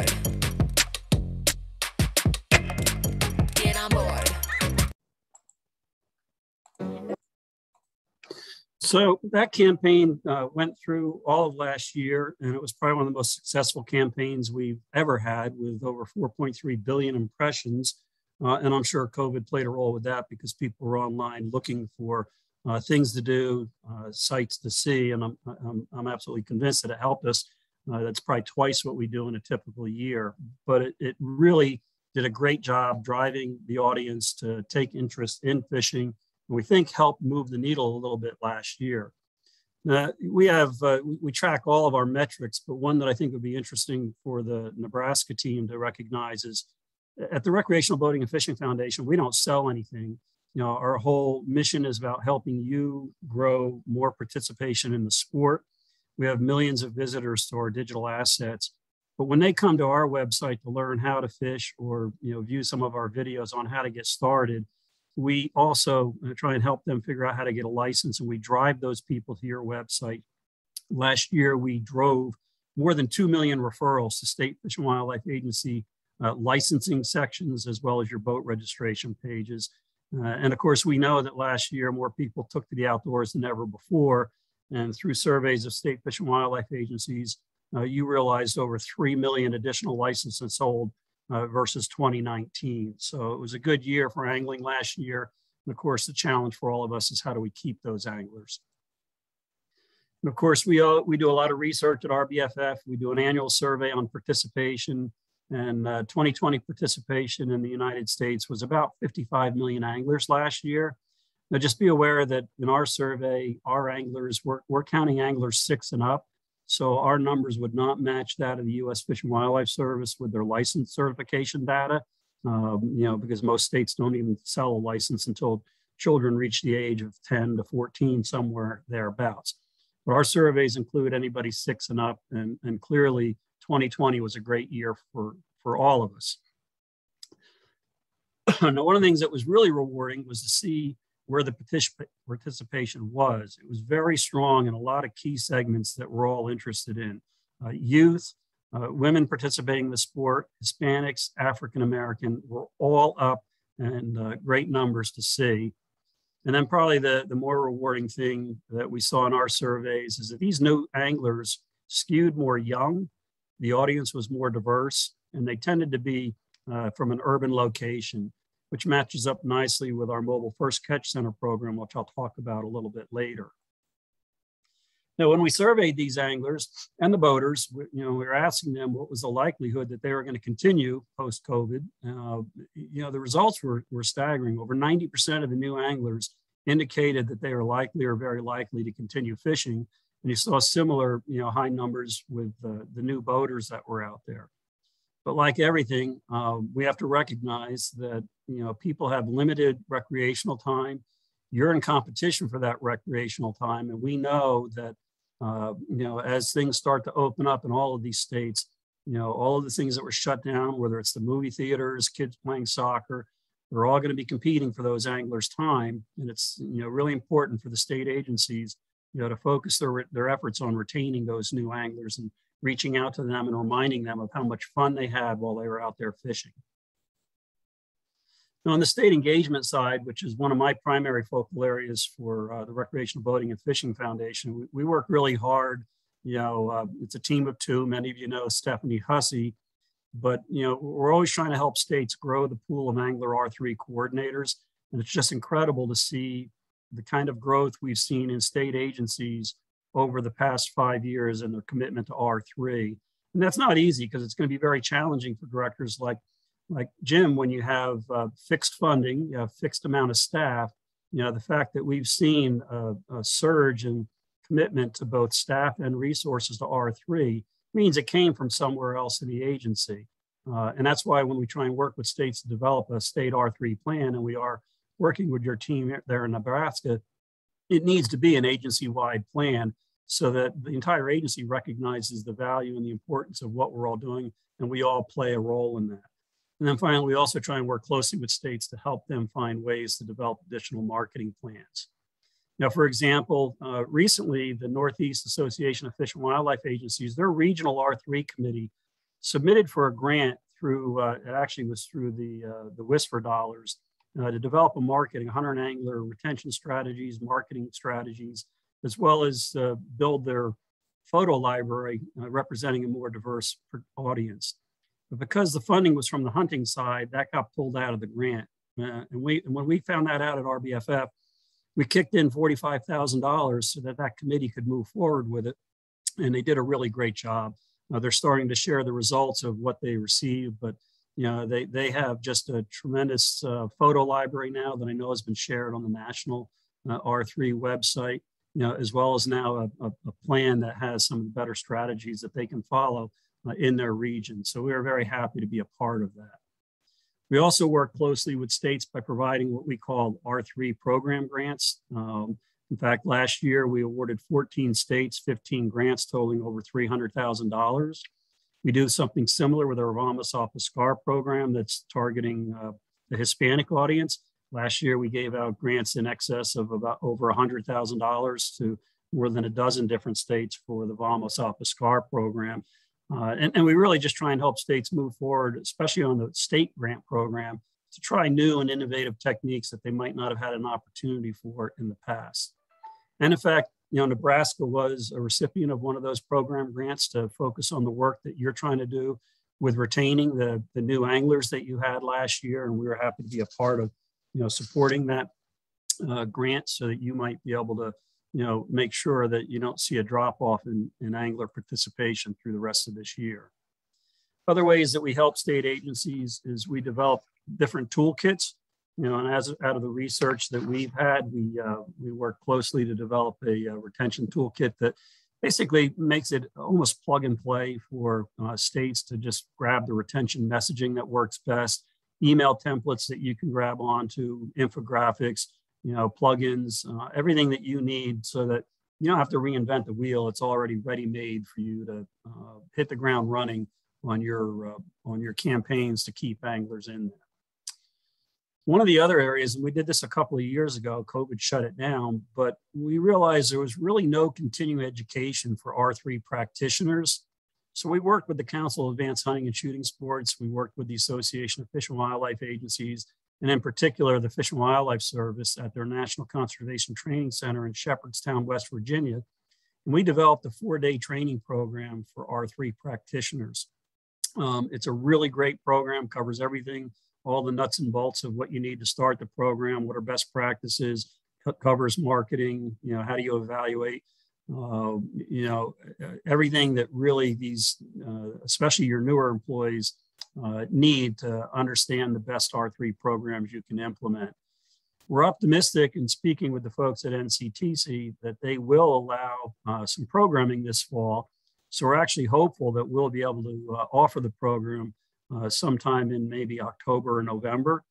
And the one thing I will point out to any of the Nebraska team that works on the angling R3 side of it is RBFF does have funding and we will cover the entire cost of your travel if you're on the angling side of the component uh, to attend this training session at Shepherdstown, West Virginia. Unfortunately, because our funding is sport fish dollars, we can't uh, offer something like that to the hunting and shooting sports side, but we'd be happy to help out on the angling side. And then just lastly, there's two programs I wanted to talk to you about. Uh, Larry pointed out the uh, uh, mobile first catch centers. Uh, this all started with a grant from Cabela's where they provided the gear, RBFF provided the trailer and wrap, and we offered them up to state agencies. I, I wasn't sure I'd even get five partners, but we offered these trailers up because based on the research that Mark Duda has done, we know these urban audiences are extremely important. So we pulled together a trailer complete with all of the equipment that you would need to take fishing to where the people are, especially in these urban areas. And uh, we had almost 19 states apply for the programming. Uh, Nebraska was one of the first 10 in what I'll call the pilot program. In the Midwest, Nebraska and Kansas received trailers. Um, and, and, and when we found out that these things were really working well, our only ask of the agencies we gave them to were a couple of things. We asked that you give at least eight programs a year in an urban environment, that you try and track your constituents so you can connect them to a uh, other fishing opportunities or keep them in the continuum loop that what we need to uh, uh, create an angler and to share those results with us. And then what you do with the trailer the rest of the year is, uh, you know, fits in however best it fits with your R3 programs. The program has been a tremendous success, so much so, so that uh, our CEO, Frank Peterson, came to me and asked, can you get another 10 states involved in the program? And, uh, and we have done just that. We have you know, what you see listed there is active mobile first catch centers, and we're working with Alabama, Arizona, California, Florida, Illinois, and Wisconsin to bring trailers to their states. And, and, we know that running the program capacity is always a challenge for all of you, but we are seeing some creativity out there. Not every state has parks like Nebraska does. And what, what Arizona is going to do is they're going to take the trailer uh, which will be branded with their agency information on it. And they're going to train their sister agency, Parks and Parks Agency, to do programming in the Phoenix area, uh, which is, again, one of those areas where you'll be able to serve that underserved demographic. So I'm kind of excited to see how that part of the program works out. Uh, but they're often running, and we look forward to every opportunity we can to expand this mobile catch center concept. And I mean, typically, and it's great to hear Nebraska has so many trailers, but most states you know, they conduct their programming at what I call those brick and mortar locations. You know, the anglers have to come to you. But with this program, you're able to go anywhere you want. And, and we're really optimistic that it's going to, you know, continue to grow. Now, the final one I'll talk about, and I see it marries up beautifully with the Mobile First Catch Center program, is uh, pre-COVID, uh, RBFF partnered with the West, with the Virginia Department of Wildlife Resources in the city of Alexandria to bring a program which we've labeled Adopt a Lake. Uh, it could be Adopt a Stream. Uh, it's similar to the highway programs, but the difference is this isn't just about trash removal. Uh, the volunteer partnership, the RBFF is the volunteer that does uh, as many as two or three lake cleanups a year. Um, but the West, but the Virginia Department of Wildlife Resources does uh, habitat enhancement that RBFF has funded.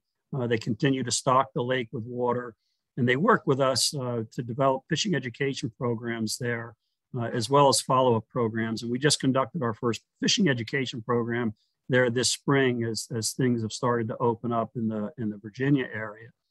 Um, now the, the uh, Alexandria folks, uh, their commitment to this program was I was going to give them fishing rods and reels and we want them to develop a loaner program. Uh, they've had some logistical problems, but uh, haven't been able to bring that home. So the reason I'm even bringing this up to you folks is I have funding to help 20 states take this program on to either adopt a lake or adopt a stream. Uh, that $5,000 per state could be used for equipment uh, that you might need to develop the program or set up a loaner program to work with your partners on habitat enhancement. And, uh, and I'd be happy to talk to the team offline about trying to set something up like that. You know, we, we think it's just a great opportunity for states to get into some of these urban areas. And that's what we're looking for, a stream or a lake that's in an urban environment or close enough to an urban environment that, that those folks can get out to it. Uh, and we think it matches up nicely with all of the relevancy issues that state fish and wildlife agencies have going on. So if you have an interest, you know, on your R3 team, by all means, reach out to me. You know, again, I'm going to be looking for as many as 20 state partners this year. And I have about $5,000 per program that we set up. And with that, I want to thank you folks for, you know, giving me a few moments on your uh, session. I'll be with you for the rest of the day. So if there are questions or answers that I might be able to help you with, I'll be, uh, I'll be happy to do that. So again, thank you. We're going to jump right into uh, uh, some research. We are first and foremost a research uh, scientific organization. And the neat thing about R3 is it's definitely evolved to that point. Instead of just thinking we can add another program to make things happen, we now ask, what can we do? How can we be strategic with the resources that we have? Uh, and it's nice that we have folks uh, here across the state of Nebraska nationally, but also here right here on the Lincoln campus of uh, UNL to help make that happen. So I'm going to hand it right over to uh, Professor Christopher Chizinski, the biggest name in uh, human dimensions that we have here in Nebraska. All right, you ready, Chris? All right. I am going to skip ahead here pretty quick, past the wonderful introduction and jump right into the, the meat of things. Um, really trying to talk about the numbers that happened in Nebraska uh, through the pandemic on both the hunting and fishing side. And several speakers already today have kind of hinted at some of the things that, that, that have been seen, not only in Nebraska, but also um, throughout the country. so here is a graph of the individual users. So these are individual customers in Nebraska since 2015. We've got the years across the bottom. Um, these are the number of individuals buying permits in the state, and I've broken it up between the blue and light blue for resident and non-resident. And one of the things you pretty much see is that 2020, we got a pretty big jump in the number of individual users, um, number of individual users um, in 2020. And I highlighted that the yellow, just in case you forgot that 2020 was the year of the, the pandemic there um, just to keep it fresh in your minds. so break this down a little bit further. Who, who are these people? Or so I guess quickly, this is a 16% increase from the previous year. So there's a, a pretty sizable increase in the number of people during that, that one year. If we break this down between the hunting and fishing side, um, we see that really the, the big jump occurred on the, the fishing side. We did see a little bit of an increase on the hunting side, and so about a 21% increase in new um, anglers in 2020 versus about 3% on the hunting side. Here is a kind of breakdown of the different types of users that occurred during that 2020 year. So each little box, this represents fishing. So each little box represents 1,000 anglers. And I termed these active, reactive, and recruited. So active were those that had purchased the previous year. You can see that the bulk, which is pretty consistent, about 52% of all the people that bought fishing licenses in 2020 had bought them the previous year. I'm going to skip ahead to the far side, recruitment. We see about 27% were brand new anglers. These, at least since 2015, had not purchased a, a license yet. So these were, were new anglers. the interesting group here is this in the middle here. And these are the reactivated anglers. So these were anglers that at least lagged one year. They could have lagged up to five years, but they lagged at least one year during um, the past couple years, but they had purchased one in Nebraska before. And these are residents only, by the way. Yeah. Great. right there. so here are the couple years before that. Um, so in a typical year, we have about 62 to 64% of the people are in the fishing side are buying them every year or approximately every year. The recruitment is why I skipped to that next. It fell within the range of some of the previous years. So we've got between 22 and 29% uh, brand new anglers popping in every year. The big jump we see here are in the reactivated group, right? You can see that generally the range for the past three years before this was 8 to 16% of reactivated anglers. We jumped up to 21% there. So this really shows that a lot of the new anglers that came in during 2020 were people that had been thinking about fishing um, and then finally got the opportunity to come and, and fish that year. Not necessarily just brand new people. These are not new people that, that came, well, they could be, but they're not the, uh, definitely new people because it fell within the range of previous years.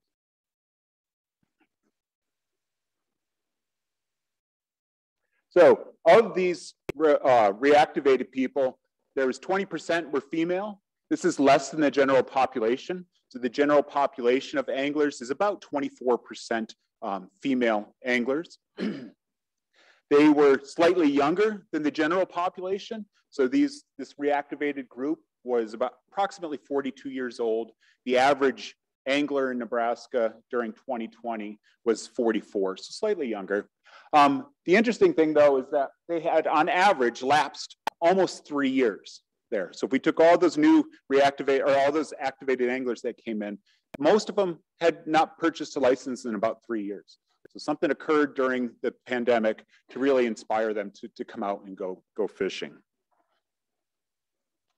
Um, some of the recruited, 26% female. This is more than the general population. So the, the new recruited anglers that came in during 2020 were more female than the population. Um, they're approximately 34 years old, so younger than that reactivated population and younger than the, the general population. Now here are the hunters. so hunters, we tend to see less churn. So that this active group here on the left is, is generally a, a, higher number. People that hunt tend to buy hunting licenses every year, which not what we see in uh, anglers. We saw about 14% of those people that bought licenses in 2020 were recruited, or no, 14% were recruited, and the reactivated was 12%. And very similar to what we saw in the fishing side. Oops, so the, the typical range of active is 78 to 79%, um, 12 to 16% of for recruited. And once again, we saw a jump in the number of reactivated hunters in this case, mirroring what we saw in the um, fishing side of things. So the reactivated hunters were about 14% female. So this is more than the general population which is about 8% of Nebraska hunters are female. So a, a large jump in reactivated females coming in. Um, 41 years old, so just slightly younger than the general population, about 44 years old. And on average, they had lapsed 2.8 years. So in almost three years again that they had not bought any sort of hunting license over the, the past 2.8 years. The recruited 24% um, female, more than the general population again. So a lot of women coming into um, hunting in Nebraska in 2020, which has been mirrored by some of the other presentations we've heard. Um, approximately 40 years old, so four years younger than the general population. These, these new recruited hunters are um, more female and younger in generally. So this gave us the, the numbers of who came in, but we don't necessarily know the whys, right? So we've spent the, the past year um, working with Game and Parks and my lab to kind of get at some of these whys. And we've sent out several different surveys um, trying to ask some of these different questions. And the thing that we keep seeing over and over again is that most individuals point to the typical reasons to hunt and fish, right? These are spending time outside, um, socializing, getting to know people, and then connecting with nature. All three of those things were the, are the top reasons that people came out, are, are these reactivated and recruited hunters and anglers were the reasons why they came out, right? It did not include the pandemic. So very little the pandemic made me do it um, to come into hunt and fish, which is a good thing, right? This means that um, we don't need more pandemics to bring more hunters and anglers in, right? If we can go and, and tone our message to appeal to those things like spending time outdoors, socializing, connecting with nature. This may help spur some more people to come in um, and, and continue to hunt and fish and lapse a little less than they normally do. And then so some of the further stuff that we're working on, we're gonna continue to monitor the license sales. Um, and then one of the important questions is do reactivated stay reactivated, right? Are we going to see these people now drop back out that had recently um, become reactivated, or are they going to stay engaged and keep hunting and fishing um, in the in the future years? And then continue investigation into how we can reactivate some of those lapsed hunters. So I'd keep identifying some of the, the motivations and those things that really got people out um, hunting and fishing in 2020. And I know Matt has been working on a bunch of projects that are targeting just, just that stuff with that, I don't know if I got us back on time at all, but uh, any questions?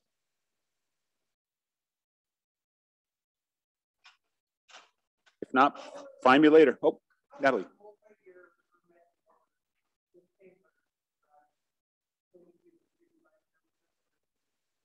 Yeah, that's a good question. So Natalie asked, how do multi-year permits fit into these numbers? And I didn't uh, take into account. So if you bought a license, you get captured each year there. So those people are, are, are, captured. I didn't break it down into individual licenses or any of those kind of things. Just looked at general users and whether they purchase license. But good question. Yep. Any others? All right, Rashid. Thank you.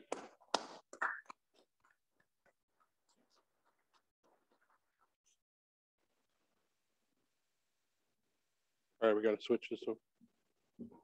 All right, I've got to make some switches. Um, obviously, one thing that that uh, want to emphasize again is that there are three R's. And retention at times is just as important as some of the others out there. We oftentimes get lost in the idea that we have to recruit, recruit, recruit. As you can see, sometimes after an opportunity like 2020 came along, retention and uh, keeping people reactivated uh, is also just as important. All right, back on schedule. Our next piece has to do with our tenants of the North American model, and that's opportunity for all. Uh, and uh, this agency has reemphasized something that's been strong uh, within our group and across our state for some time, and that is uh, pushing that forward, opportunity for all. We uh, created a committee for diversity and inclusion and so we're going to kind of talk about that and its connection to R3. We've got Lindsay Rogers, who is our division administrator for our relatively new Fish and Wildlife Education Division, who also leads the uh, committee on DNI. So Lindsay? She's right behind here. me. I'm right here. Uh, good, good afternoon. Uh, like you said, my name is Lindsay Rogers with our Fish and Wildlife Education Division. Um, so today I'm going to talk about an initiative that we got started on like a, a, little over a year ago. And this was what we called the community survey. At first, we started calling it our demographic survey, but really it was more than that. We wanted to talk about more than that. So um, the commission adopted our focus on education strategic plan in January of 2020, so right before the world ended. And um, during the pandemic, we really started looking at the immediate recommendations of this focus on education strategic plan. And one of the biggest things that we needed to do is figure out what our diverse constituents needed and wanted out of the commission when it came to our education efforts. So we designed this survey to reach broad audiences. We designed it to obviously look at our education related things, but we also talked about communication preferences. So how do they want to be reached or how do they want to learn about things from the commission? Because that's just as much to do with education as it is to do with access. Um, demographics, we looked at all different kinds of things. We translated this the um, the survey into Spanish, Vietnamese, and Mandarin Chinese in an effort to try and reach diverse audiences. And uh, we connect, conducted this survey from February through late April. So really the last week in February through April. So about a seven, excuse me, a nine week, we had the, the window open. We got a total of about 2,300 respondents. Before I go on and start looking at um, some of the different things, I need to say two things. One, I'm not a statistician at all, like not at all. I can talk to you about state standards, I can talk to you about education principles, but this is just my initial grasping of the data. Um, that's the other point I wanted to make is I'm just starting to really dive into this data. And so um, I wanted to provide some update to you guys of what we're seeing, some of the trends we're seeing and, and some of the data that was provided, but please don't be too harsh on me because I am not a statistician. So kind of looking at who were these respondents. Um, overwhelmingly, they were white. We had a fairly low black um, participation in the survey. That said, we, we tried really hard. We did a lot of paid advertising. We did a lot of emails, direct emails to individuals working with different communities. Um, and then we had um, a, actually a decent Latin population um, responding to the survey and, and really comparing Nebraska's overall population to the survey population and the demographics of the overall state were slightly low on Latin, but not terribly low on that. Um, the age range for this survey, definitely a little bit lower on the 19 to 24 year olds. Um, and then we peaked out actually at 65 plus. Um, so I think there's a lot of follow up that we need to be doing with this survey to really get a little bit more information from that younger audience of where we need to be heading in the future. Um, not quite 50 50 male to female, but not terrible. And then um, rural to urban. And I should notice that when I broke things down rural to urban, we asked what county you lived in. And so we based this off of county and I based urban counties on those with a population center over 30,000. The USDA uses 50,000, but I went with 30,000 um, to be able to include the Buffalo County um, with Kearney in there. So Buffalo, Douglas Hall, Lancaster, Sarpy counties, those were all included in the urban area. So let's start talking about, oh, and real quick, I do wanna mention when Game and Parks talks about diversity, we look at this from an incredibly broad standpoint. We are not just looking at this from a racial standpoint. We look at diversity from a racial standpoint, gender, sexual orientation, age, geographic. We are looking at diversity from a broad perspective because I think that's how we're going to best serve all of our constituents. So, program interests.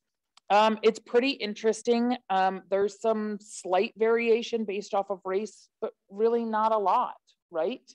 Um, when we start looking at things, we asked about archery, camping and camp cooking. We looked at conservation of natural resources, cultural resources, hiking, hunting, um, hunting and shooting sports, fishing. We looked at things like um, canoeing and kayaking, nature photography, watchable wildlife. So we asked about a, a broad perspective of things.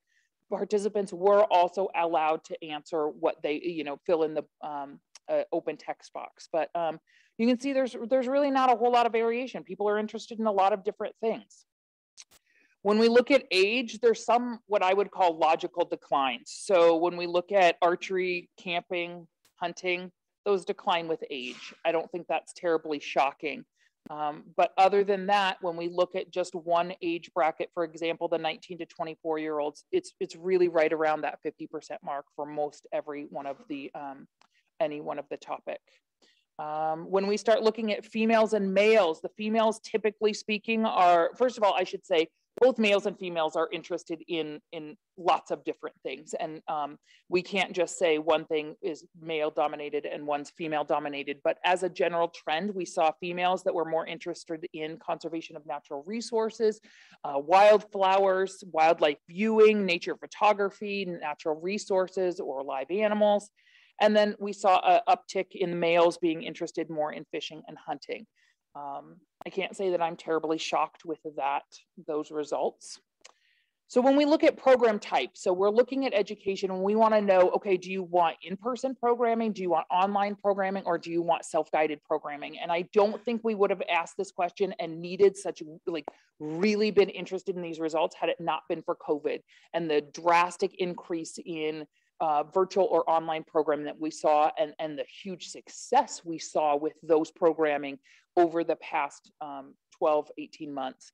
So overwhelmingly, regardless of your race, overwhelmingly, um, well, I can't say that, but for the most part, overwhelmingly, um, in person was most popular. And that's good because we know that in person programming has a huge impact on individuals.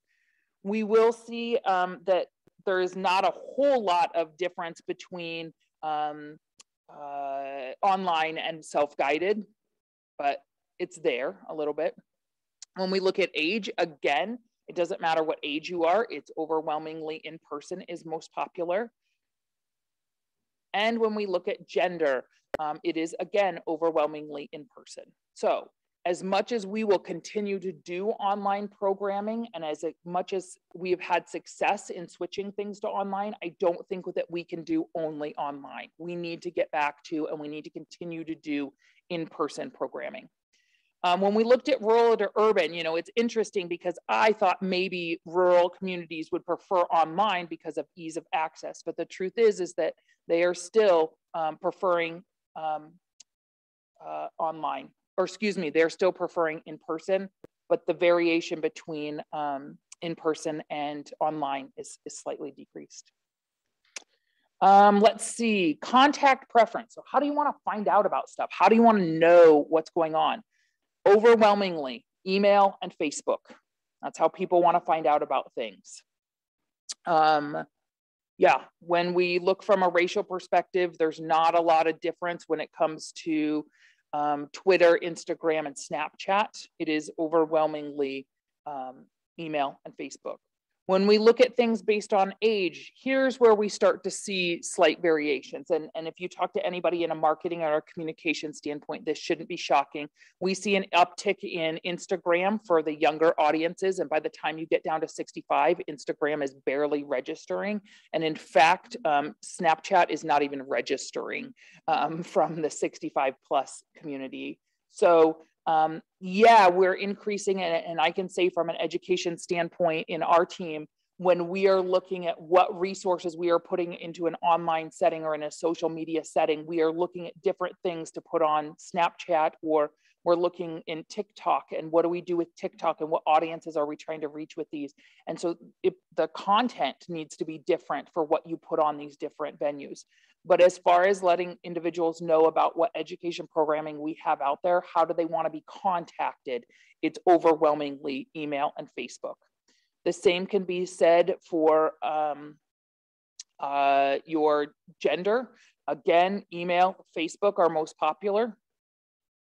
And when we look to rural and urban, um, the same thing. There's slightly lower email in a rural setting, but it's interesting. Uh, newspapers and radio are slightly higher in the rural setting. But again, that doesn't terribly shock me. The last thing I want to go over is I slipped in a quick little question of how important is conservation education. So the question was on a scale of one to 10, with 10 being highly important, how important do you think it is for people to learn about nature, outdoor recreation, and historical interpretation? When we look at from a racial perspective, there's really not a big difference. We are looking at basically eight to 9.5%. So really not a big difference. When we look from an age perspective, again, there's not a big difference. And when we look from a, a gender um, identif a gender identity, there's not a big difference. Nor is there for rural versus urban. The thing that I want to point out here, though, is, is that the average of everybody that responded to this survey was 8.8. So on a scale of 1 to 10, 8.8 is the average number. That's high. That's great. This is where we need to be. And clearly, Nebraskans are desiring to have outdoor recreation education, nature education, and cultural and historical education. That is what we are finding out from these surveys. Like I said, um, A, I'm not a statistician, and B, we're just diving into this research. Um, so look for more coming soon. Any questions? Yes. Yeah, so self-guided would be at a location, but um, not having a staff person guide you. So for example, there might be a pamphlet that you take and go to different stations, or it might be something where you go to a nature center and you self-guide yourself through the nature center, but there is not a direct person that is um, guiding you.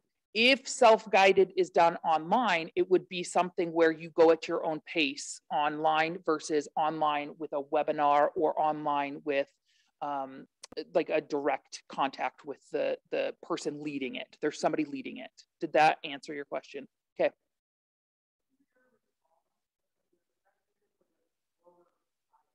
Um, I, I didn't set any expectations.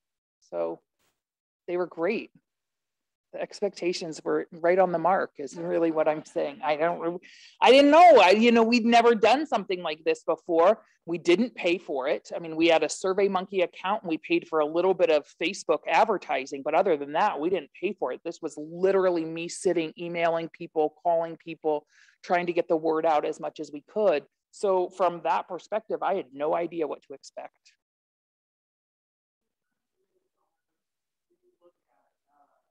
I don't pretend to know. There's a hundred reasons why, and I don't pretend to know why people choose not to answer.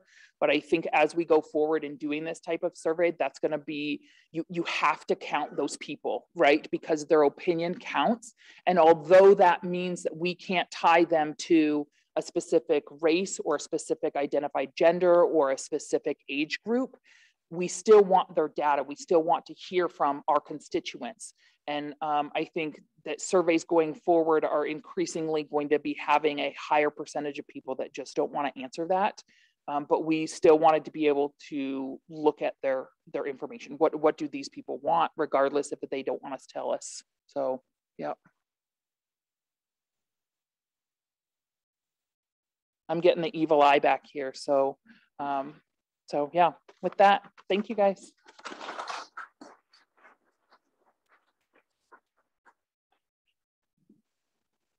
Thank you, Lindsay. By the way, I just got an Insta Snap question for you. Lindsay, where'd you go? Uh, is it truly your birthday today? I, I take that as a, a no comment. All right, we'll leave it at that. All right. Now the part that I've really been kind of looking forward to, we get to have a jam session, uh, which has got me excited. So hopefully you guys brought your guitars, some drums, that type of things. Uh, we're actually going to kind of take a peek at something R3 at not just the statewide level, but at a regional level. And we're going to try to use some technology as well. So those that are in-house, you look over at this whiteboard over here, you might be able to use your tablet, uh, your laptop, if you have one of those, it might work on smartphones as well, I'm not sure. Um, for those on Zoom, hopefully you've got the link and the directions how to get there. You'll probably have an easier time doing that. This is where you're gonna need your colorful pieces of paper and a writing utensil. With that said, I'm gonna hand it over to the leader for this uh, closing session. And one of the, one, like I said, I'm most excited about, uh, our outdoor education specialist, Julia Plugi.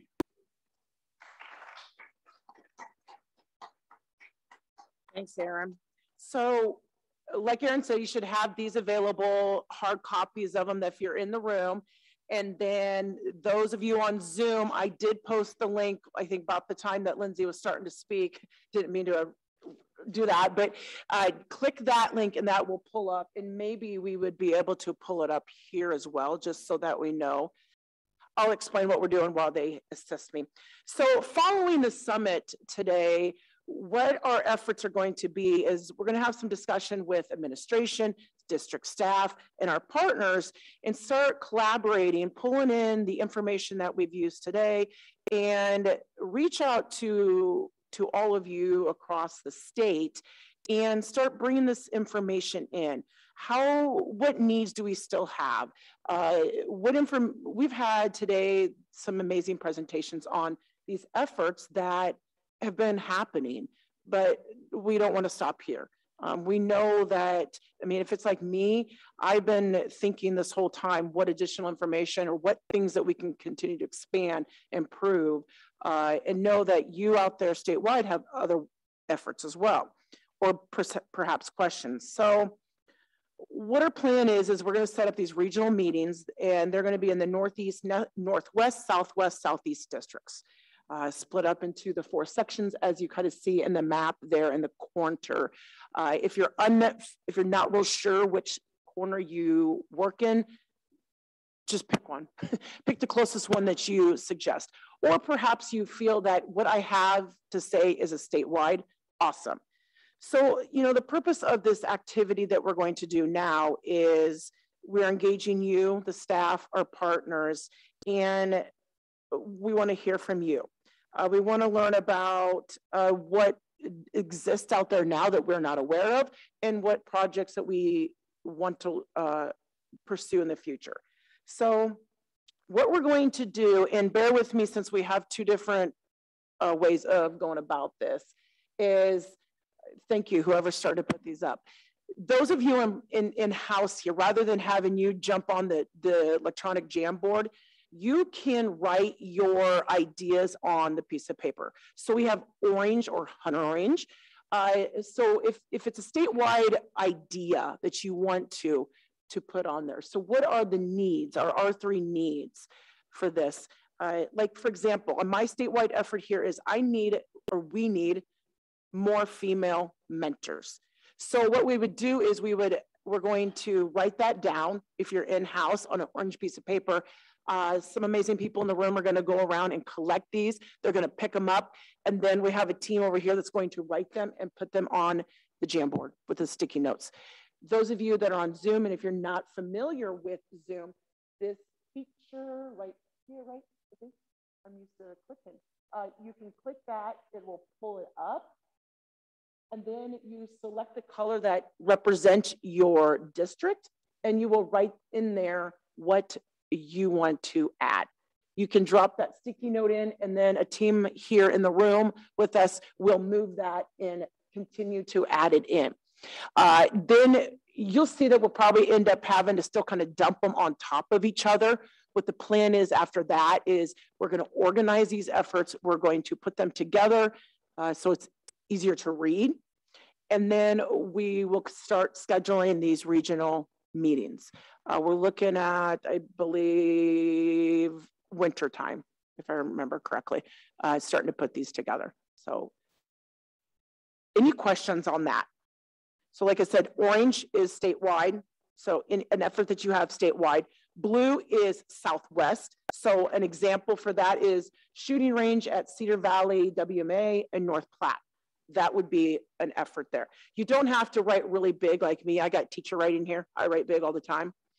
Uh, you can write multiple responses on one piece of paper and, and turn those in.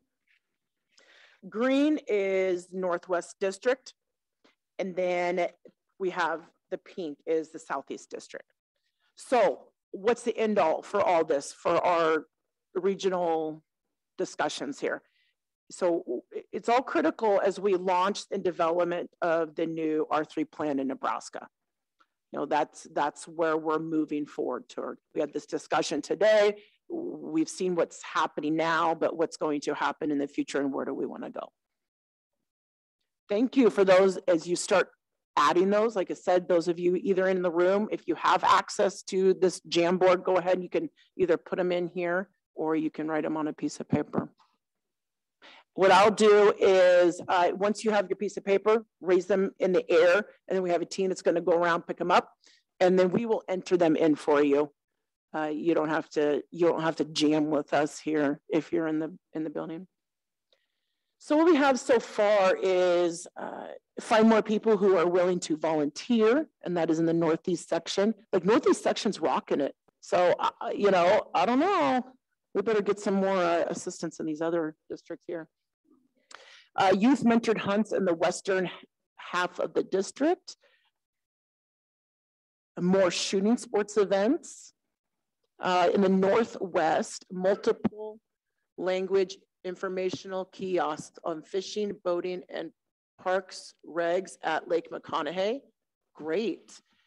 Uh, the southwest, outdoor archery ranges. Oh boy, In the Southeast District, there are, we have more hunting access in Omaha and Lincoln area. There we go. Now we're getting some orange, hunter orange colors in. More marina access and boating reservoirs. Shoreline ADA fishing access on large reservoirs, great. Shoreline ADA fishing access on all uh, large reservoirs. And as you can see, there definitely is, uh, they may be in multiple districts, maybe not statewide, but could represent more than one district area as they are speaking on the reservoirs here. Expanded hunt and fish opportunities in our parks. Now's when I need that like go-go gadget.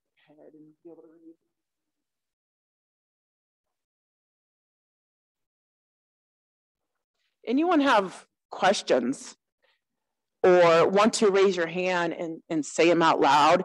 If you are on the Zoom, if you're a Zoomer and you want to type it in the chat, you certainly can do that. Uh, you don't have to plug it into here. I'm gonna. I know, right? I mean.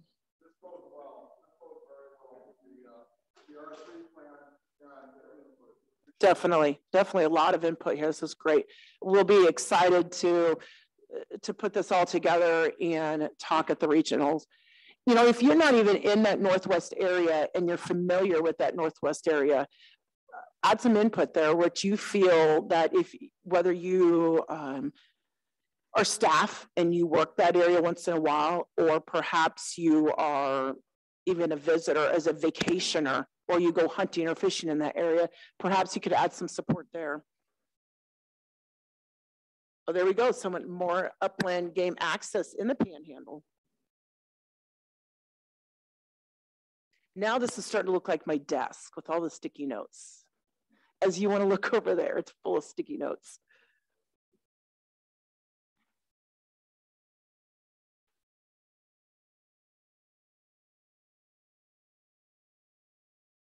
This is great.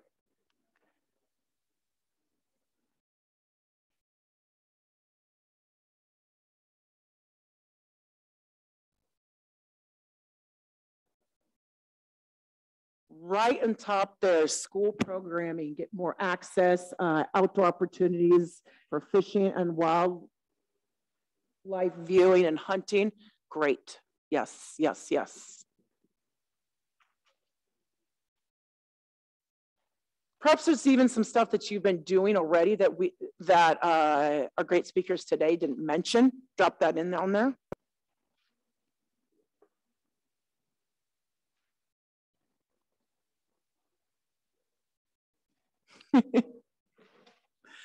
wave them, wave them. Kevin's like trying to get your attention there. There you go.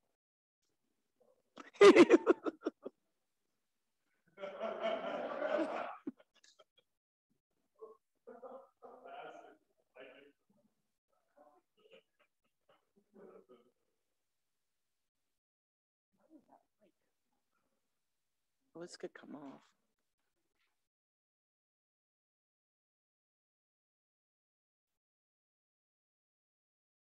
We'll have a lot of fun putting this together. And like I said, we uh, it may be getting to a point where it's challenging to read right now. It's like the game where you have to click the, the boxes and then they, but uh, we definitely will put a lot of time into organizing this and sharing it with everyone.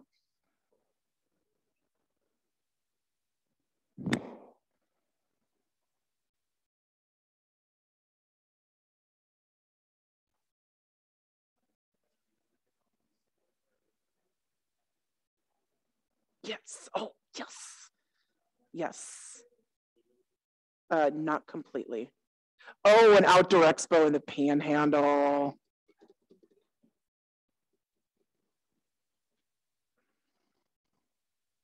And that got put to the top. Hmm. um, I can only see like this corner right here. That's all I can see. Is it a, more nature and interpretive program in the state parks. Nice. I can still can only see that corner. Some reason. Is there anything I can do? Yes. Oh, look. Okay.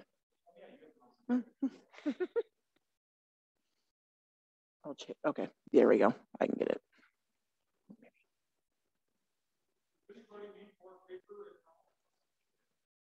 Well, I changed. Oh, now I don't know what to do.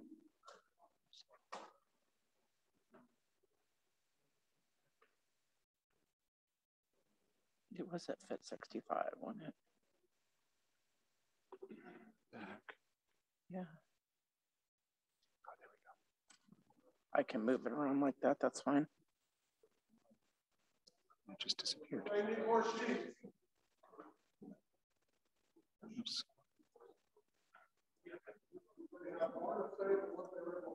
Why is it?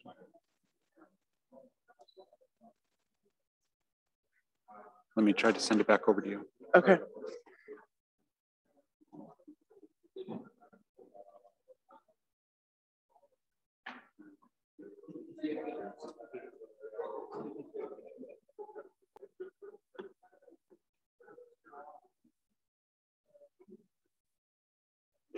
There you go. Now I can see it. Thank you. Uh, more trappers education classes in the statewide. Another sighting range in Omaha. Uh, separate division Facebook pages for public output and knowledge. Okay.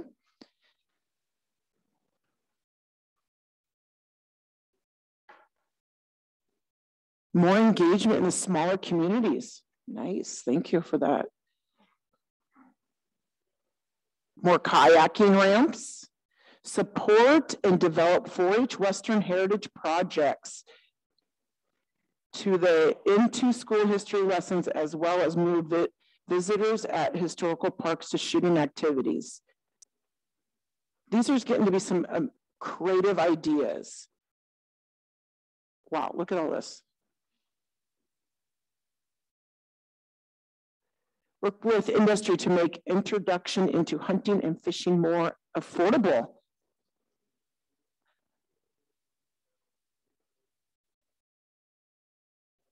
Non-powered craft launch facilities and water trails.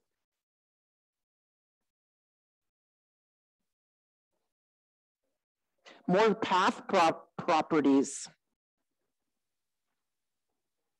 More access to volunteers. promote and establish baseline connect, connection to nature, increase ecological literacy as a foundation to recruit new anglers and hunters.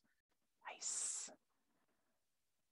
Property tax incentives to landowners for access. In STEM, in-school programs tying to STEM lessons. Man, you guys are like rocking this. Ooh, my eyes are uh, more companies, information in for winter hunts. YouTube videos, series on how to do basic outdoor activities. Nice.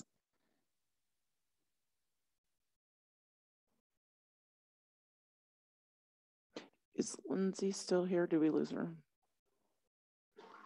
I was curious if the uh, YouTube was self on that series, if that was self-taught. I bet it was. Did she? Okay.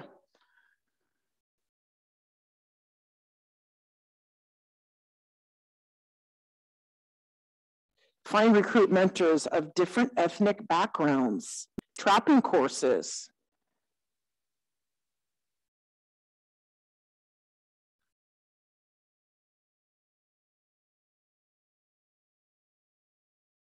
It's like the popcorn when it's just stopping to pop and it's starting to slowly slow down. And don't start, you don't want to burn it up. Don't burn it up. Marketing companies that look more like me, not old white guys that have been doing this for 40 plus years. I found that when I read it really well. Welcoming messages for new people or women. My young eyes can see that one well. Ability to engage new and non-traditional users in Lincoln and Omaha. a new Dick Turpin. Who? Just kidding. Just kidding. Just kidding. Give temps access to more agency training. The temps will be the next permanence and, and it got read on. There we go. And we'll continue engaging with the public. Nice.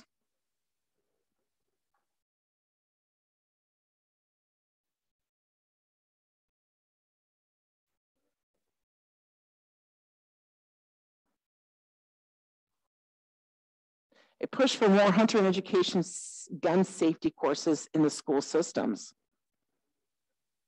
Jackson, did you write that one?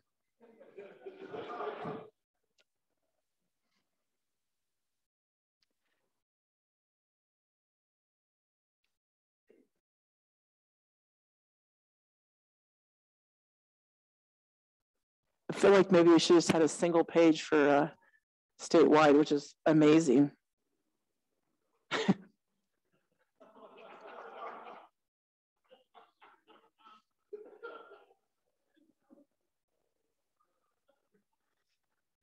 More and better hands-on hands-on use of firearms create an understanding of history, function, and abilities.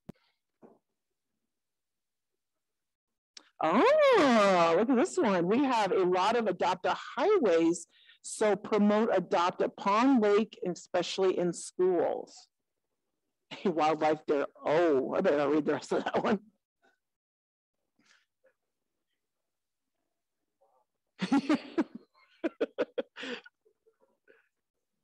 Boat ramp launching training.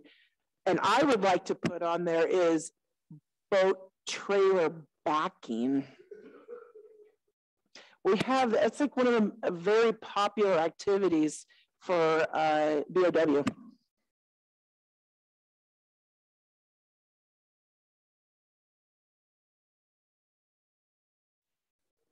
There we go, thank you.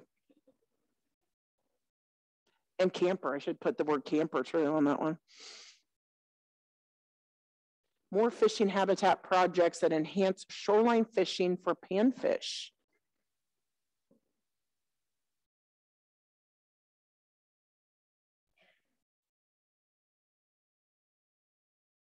List of landowners who allow access, or if someone from a different area draws a permit tag, they aren't having to pass up opportunity. I, I like how that green's like right on the orange so I can see it. More fishing habitat projects. Oh, I read that, sorry. Oh, bow chat or BOW or bow chapter developments. I'm gonna put that as BOW, becoming outdoor woman chapter developments.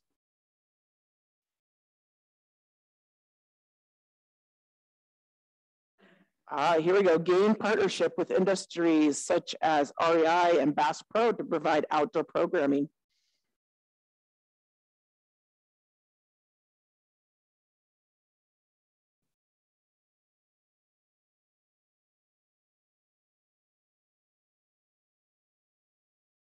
Shooting range coordinator position.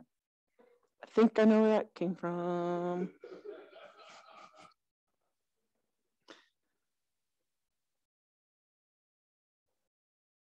Ease of getting involved with those new mentor programs. Nice.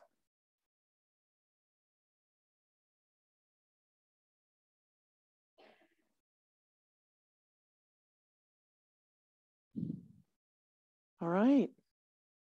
I think the popcorn machine might have been unplugged, but it's going to be turned back on, so don't stop there. We'll keep this live.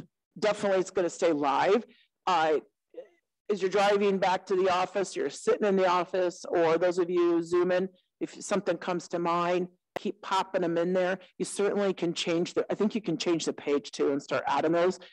Or you could uh, add it, you can send it my, my way or anyone's way and we can add this together. And like I said, we're gonna, we're gonna put this in a easier to read document start splitting up those districts, having those meetings and the discussion, after, you know, speak with administration on that and move forward and, and start putting together this uh, R3 plan for a state of Nebraska.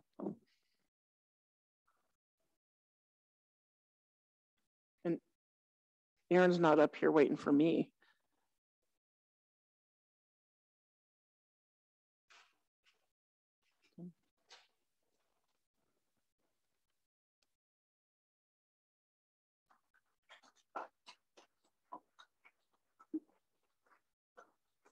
All right, we suggest that you not drive and do this. All right, so wait till you get back to the to the office and, and add to it. So uh, good stuff. That's going to be something that we review once we get back and go through all those sticky notes uh, to see where there's some uh, duplication and see what came up more than once, obviously. But that was that was kind of neat to see that being populated up there.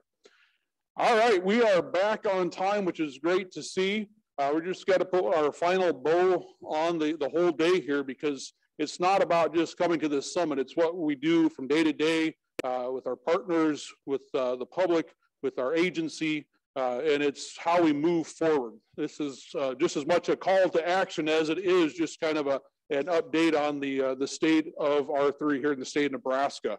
Uh, I just want to personally say thank you again for coming either in person or joining us on Zoom and spending part of your day with us this is something that uh, regardless, especially if you work for our agency or some of our partner organizations that are here today, uh, this is something that we work with every day, whether or not you realize it's in the duties, every interaction you have, every action you make, everything that you do out there has an impact on these areas within uh, the outdoor community.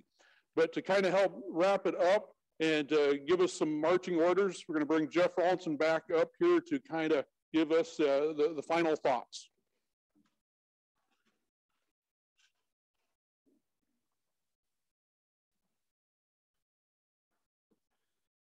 Uh, thanks, Hershey. Real quick, how about a round of applause for Hershey being our MC today? Excellent job. Excellent job. Appreciate, appreciate Hershey. Uh, I've just got a few words, and then I'm going to ask Director Douglas to come here and give us some closing thoughts. Uh, I want to thank a number of people, certainly everybody that's joining us here today in person, everybody who's joining us on Zoom. Uh, every the last three years we've done this, it's 100 plus people. Uh, certainly shows the, uh, the amount of uh, interest in the R3 movement here in the great state of Nebraska. Uh, how important is this? Well, you look around the room, you see one director, one deputy director, and one assistant director, a whole lot of uh, division administrators and staff, uh, I think, and volunteers and, and representatives from our organizations, Ducks Unlimited, Pheasants Forever, National Arctic Federation, and the list goes on and on. I'd say it's pretty darn important. And I'd say that what we're doing here today and what we're going to be doing, uh, continue doing over the next several months, several years is pretty darn important.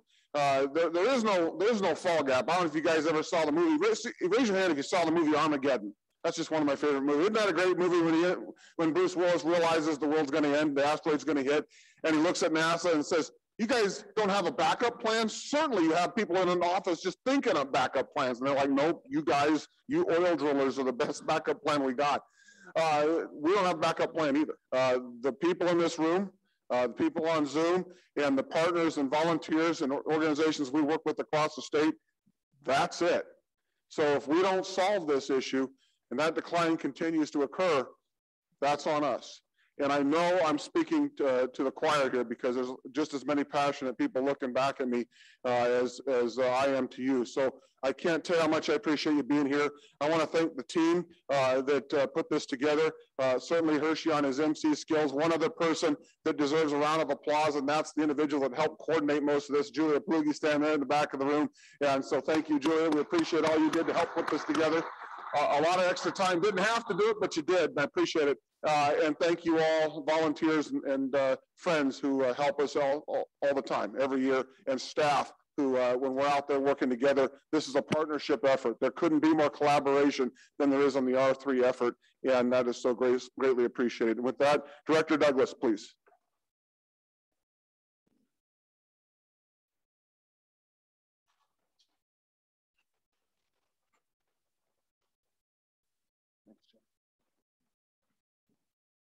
Thanks, Jeff. and I'm going to take a short amount of time. Uh, again, thanks to everyone, whether you're on Zoom or you're here, and thanks for all of you that are here for sticking with this whole program. I want to make sure that, you know, as you contemplate everything that you heard today and that you've seen today, and as you move forward and you get uh, the chance to look at all of these different inputs that we have, uh, remember that when I talked earlier about uh, my answer to questions posed of whether we were working we were working hard enough, whether we were working fast enough, and so on, and I was saying no, no. Uh, my message there really was we can't let up. That was my message. We can't let up. Now, well, if you talk about working harder, everybody here is part of working very, very hard right now. And I appreciate that. And everybody that cares about this appreciates that. So don't take that in the wrong vein. But what we do know is, right, uh, we don't want to work harder uh, at the things that aren't the most effective, right? So uh, what's that mean? The old saying, don't always work harder, work smarter. That's what this is all about. These uh, conferences like this are about working smarter. We're learning and adapting. We're learning from others who are doing things and looking at the results of what happens. So, so we're working smarter. And then also on faster. You know, it's the old the old thing about the guy that's driving down the road really fast, and the, and the, his friend says, "You know where you're going?" Uh, no, but I'm making really good time. So we don't want to make really good time going down the wrong road. So, so what we're doing is learning and adapting. And I want to thank everybody that helped put this together is going to continue to do the research, do the looking at uh, uh, what has happened and adapting to it. And we're going to, we're to get this done uh, because it's a noble cause and all of you are making it happen. So thank you very much.